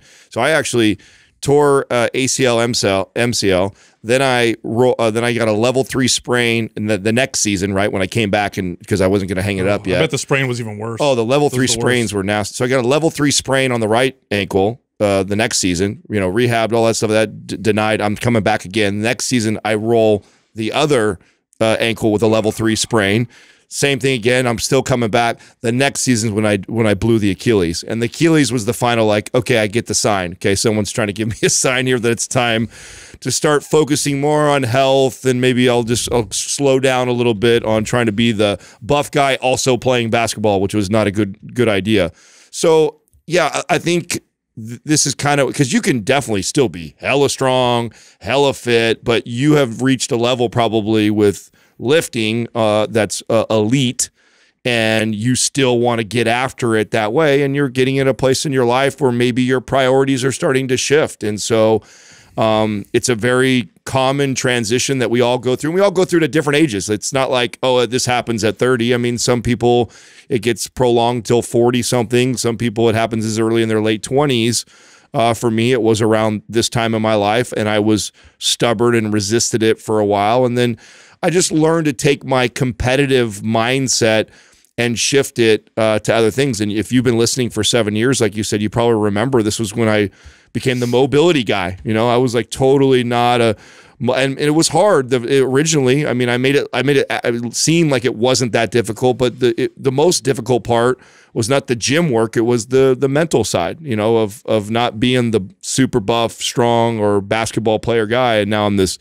You know, guy that I used to make fun of, the yogi mobility dude. so Shane, Shane, the, the micro uh, discectomy, you got the same procedure twice, and was it on the same disc or different? Yeah, yeah, L5S1 and um, yeah, revision discectomy about three months later on Christmas Eve this year. so I'm about so- four weeks out from that. So that's sometimes they call that like a micro decompression. And so, th- so for people who don't know, so you have a herniated disc. They go in and they alleviate some of that by taking off some of the disc or, or you know, uh, they shave it. They shave the edges. essentially. So, but it happened twice, same disc. So whatever's causing it is kind of still there. Um, now I've trained people who've had this procedure. I've trained people who've had you know a lot worse than this, and you could totally, you could totally rehab to the point where this is no longer an issue. But it's going to take some time. There's some there's some compensations that you've probably created, and there's probably some imbalances that you have you haven't been able to identify. First off, I would say this: um, you like to work out, you like to lift weights. I would definitely train more like a bodybuilder. For a while than like a power lifter. I wouldn't train at all like a power lifter for a long time. Bodybuilding, the, the classic bodybuilding, I'm not talking about Ronnie Coleman bodybuilding because he did a lot of powerlifting, but like, you know, Dexter Jackson bodybuilding. Like there's a reason why Dexter Jackson is, you know, it's almost 60 and he's never had an injury and he's still bodybuilds, right? Bodybuilding is very much focusing on the muscle. The weight doesn't matter. Focus on the pump, the squeeze. There's a lot of longevity in that kind of training. And the reason why I'm I'm saying this to you is because it's still fun. You're still building muscle. So it's not like this huge switch where you're like, oh my God, I'm not even lifting weights in, in a fun way anymore. So I would focus more on bodybuilding. I think a program like MAPS Symmetry would be phenomenal for someone like training would be huge. Huge. to, to stick with that. For Yeah, you might have uh, you know a, an imbalance between the right and left that's causing some of this issue, or some imbalances in the in, in how your muscles fire. Um, symmetry is phenomenal uh, at at highlighting those types of things. I would do MAPS Symmetry, and I would avoid the five by five phase at the end. In fact, I would have you do MAPS Symmetry probably two times in a row, and then do more bodybuilding style training, and then see how you feel after that. And then as far as your your lump, you know, your your spine is concerned, I would do box squats. I would avoid traditional barbell squats. I would do box Okay. squats, real controlled, real slow, real stable. So real control. Don't don't just drop on the box. That'll hurt your spine. But slowly control the descent. Pause on the box. Stand back up. I would do squats like that for a while, and then I would do trap bar deadlifts for your deadlifts for a little while. Train like a bodybuilder. But let's start with MAPS Symmetry. I think MAPS Symmetry would be per- and you'll build muscle. You'll get great. If anything, you might even get to the point where you're stronger than you were before because you you you've solved some of these See, issues. that's what I anticipate, and that's really like I would steer you in the unilateral training for a really long time. Yeah. like as much as like you can stomach in terms of like shifting your entire mindset in that direction, and just really just paying attention to every little shift of your body, every little compensation that's creeping up, and stop, and and really just you know regain focus, control, and and bracing, and and really just pay attention to all that stuff exclusively. Yes, it's going to get mundane if you just go in the mobility direction, and I get that. I mean, that's obviously something's going to benefit you, but in terms of strength training and like really like just you know focusing in and harnessing that ability for your body to just maintain this really solid rigid uh, position i think will will benefit you long term to get back to a position where you're like i feel like strong and powerful again Shane, what was your what was your your PR in deadlift? What were you pulling? Gosh, guys, I mean, like, you know, it really went up a lot this summer. So I hurt myself pulling uh, about 495, and I was just in, in demon mode after a breakup this summer, kind of thing. So, Yeah, so- uh, I feel like the, the MAPS programs kept me injury free for a long time, cycling throughout, and just got a little bit ahead of myself this summer, probably on a day I shouldn't have been in the gym after Yeah, traveling. So, you're getting to five plates. So here's what happens: muscle imbalances when you're strong are really hard to identify because you've built patterns and you've strengthened those patterns to the point where you could pull almost 500 pounds. So symmetry is going to highlight that. It's going to open. You're going to see differences in how you move right to left, weaknesses, stability issues, stamina, fatigue. Allow the weaker side to dictate how many reps and what the weight you use. Don't let the stronger side dictate that. And watch what happens. Watch what happens. You're going to have to avoid bilateral training and heavy training for a while because when you train heavy, your body's going to do what it does best to lift heavy, which is whatever the hell you were doing before. Whatever imbalances or issues that you had before, that's your default pattern and it's it's going to be hard for you to identify it if you continue to train that way because that's the best way that you move to lift that weight. You're going to have to back off for a while and and develop brand new patterns. And the best way to do that is going to be bilateral, uh, unilateral training. Yeah, I like the idea of actually running symmetry and aesthetic and split. But when you run aesthetic and split, actually pulling out the exercises like the traditional uh, deadlift or the squat and replacing it with unilateral work. So literally, you could follow the program to the T, but just when it calls for a barbell back squat, you go do Bulgarian split squat. I would go symmetry Sure. Yeah. twice. I would go two two rounds of symmetry, Yeah, and I would avoid three phases, not the fourth. I would avoid the, the the the last phase, and I would do that twice before moving to a, a bodybuilding type, Yeah. uh, you know, type of work. And then even when you go to the bodybuilding, run like I said. Yep. Do still do you, where we call for a lot of bilateral stuff like this the barbell back squat or deadlift. You switch it out to unilateral stuff. Do Bulgarian split squat. Do single leg deadlift. Yep. Um. And but you could still run the the, the nuts and bolts of the program. I think you get a lot of value from that. Yeah, don't get discouraged because this is actually you're if you do this right, you're going to be stronger than you were before. Right. Because you got as strong as you could with whatever imbalance that you had. Mhm. And, and and and and you kept that that imbalance didn't go away. If you if for anybody who's listening, if you have an injury that you then have again, the exact same injury, that root issue's still there. Mm-hmm. So you hit a wall, and the way you hit a wall is your body got hurt. This is a recruitment issue. So if we if we figure that out, which I think symmetry will do for you, not only will you not hit that wall again, but you're going to go past. You're going to go be able to go past it. So this is actually this could definitely turn into a good thing, especially at your age. You haven't even hit your the the age at which you can hit your max lifts. So you got some time. This will be a lot of fun. Do you still have got the old man? Still got the old man strength coming. Yeah, Yeah, yeah, you Now still you, got that coming. you got more time for that. Do you have symmetry, by the way? I do not have symmetry. All right, no. we'll, we'll send that to you, Shane. Awesome, amazing guys. I guess like Sal, one one more quick question, if I could. Do you recall you you mentioned you worked with someone with a microdiscectomy? Do you remember like roughly how long after they were starting to get back into stuff? And of course, I'll run this all by my doctor, but I'm just curious your They- experience. uh, you know, the, the, the I've so I had two people who I worked with, but they were not 30 year old, you know, people who could pull five plates. They were, you know, they were in their 40s, they were athletic. And um, it took, let me think, one person, it took us about six months. The other person took maybe nine months or longer, but we got them, they were The- better afterwards. They, We got them better. The key, the key for you, Shane, is going to, and I, I love the advice of the, you know, lift like a bodybuilder. Like you really need to, you need to have the approach of, of just not caring about the load. I mean, if something it feels light to you, slow the tempo down more. Like that. Feel the muscle. You with your amount of muscle, your youth on your side, as soon as the doctor clears you to go, you're going to be fine. You're going to be just, but you have to approach it with that mentality and don't don't get caught up with oh man, I was doing this much before. Like you you don't even think like that. It's think like a bodybuilder. Slow the tempo down, squeeze the muscles. Like if you train like that, you'll, you're going to be back and and and, and making moves pretty quick. Yep. You'll be right. awesome, awesome. Well, really appreciate it. Love you guys, and uh, again, thanks thanks so much for everything you do. Really got it, appreciate Shane. it. All right, man. Thank you. Later on. you know just as a person just as a personal example um you know, i hit my the best deadlift deadlift i had ever hit previous to the one that i recently did i was in my mid 30s i hit 600 pounds and then i couldn't uh, uh, once i got up to like after that if i got up to like 550 560 i'd notice si joint pain or hip pain and it just i couldn't get it back up to six for a long time then I got to my 40s, and you you know this. I was telling you guys this. I haven't deadlifted in a while. I'm doing single leg deadlifts. I'm doing lunges and single leg exercises, and I'm avoiding heavy squats even. And I did that for like eight months, and then I went back to the bilateral heavy training, and I hit a PR, at an age when I shouldn't have. So you can do uh, your limit. Oftentimes isn't necessarily your limit. It's what your body's like. This any further than this, we're going to hurt you.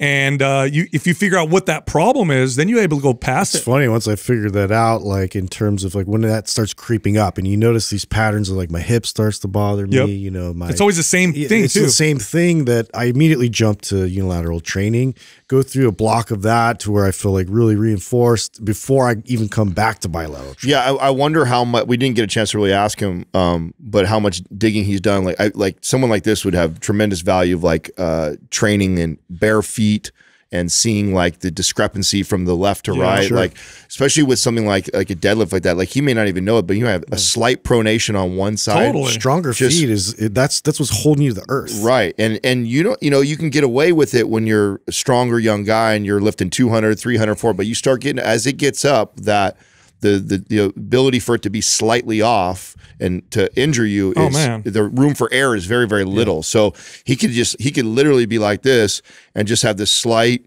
pronation on on Right one up the connection. Yeah, right Now, up and, And, and I didn't want to share this with him. I had more clients who were going to get uh, this procedure, the I know I had a lot that didn't do it. who then came to see me Yeah. and then eventually didn't have to get it. The you've seen obviously you guys have all I mean, seen you, when you go to a sur- surgeons are amazing. there's a lot there's a lot of controversy around uh shaving discs and stuff like There's that. 'Cause- surgeons are phenomenal, but but when you go to a surgeon, the answers that they have is based on their what they Yeah, understand. it's the one answer. And so like, oh, you hurt, like we could do this. Yeah.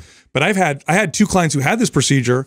I had a dozen who were going to get it uh, who then came and trained with me. Who Well, then yeah, ended I've up seen. not having to get I've it. I've had clients in situations where you have somebody who has barely, you know, a millimeter out, and they're in uh, crazy pain. Then I've had others that have like five millimeters. Feel out, nothing. Feel nothing.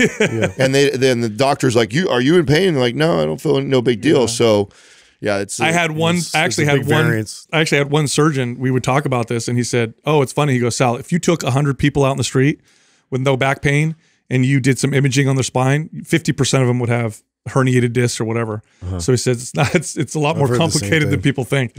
Look, if you like Mind Pump, head over to mindpumpfree.com and check out our guides. We have guides that can help you with almost any health or fitness goal. You can also find all of us on social media. So Justin is on Instagram at Mind Pump Justin.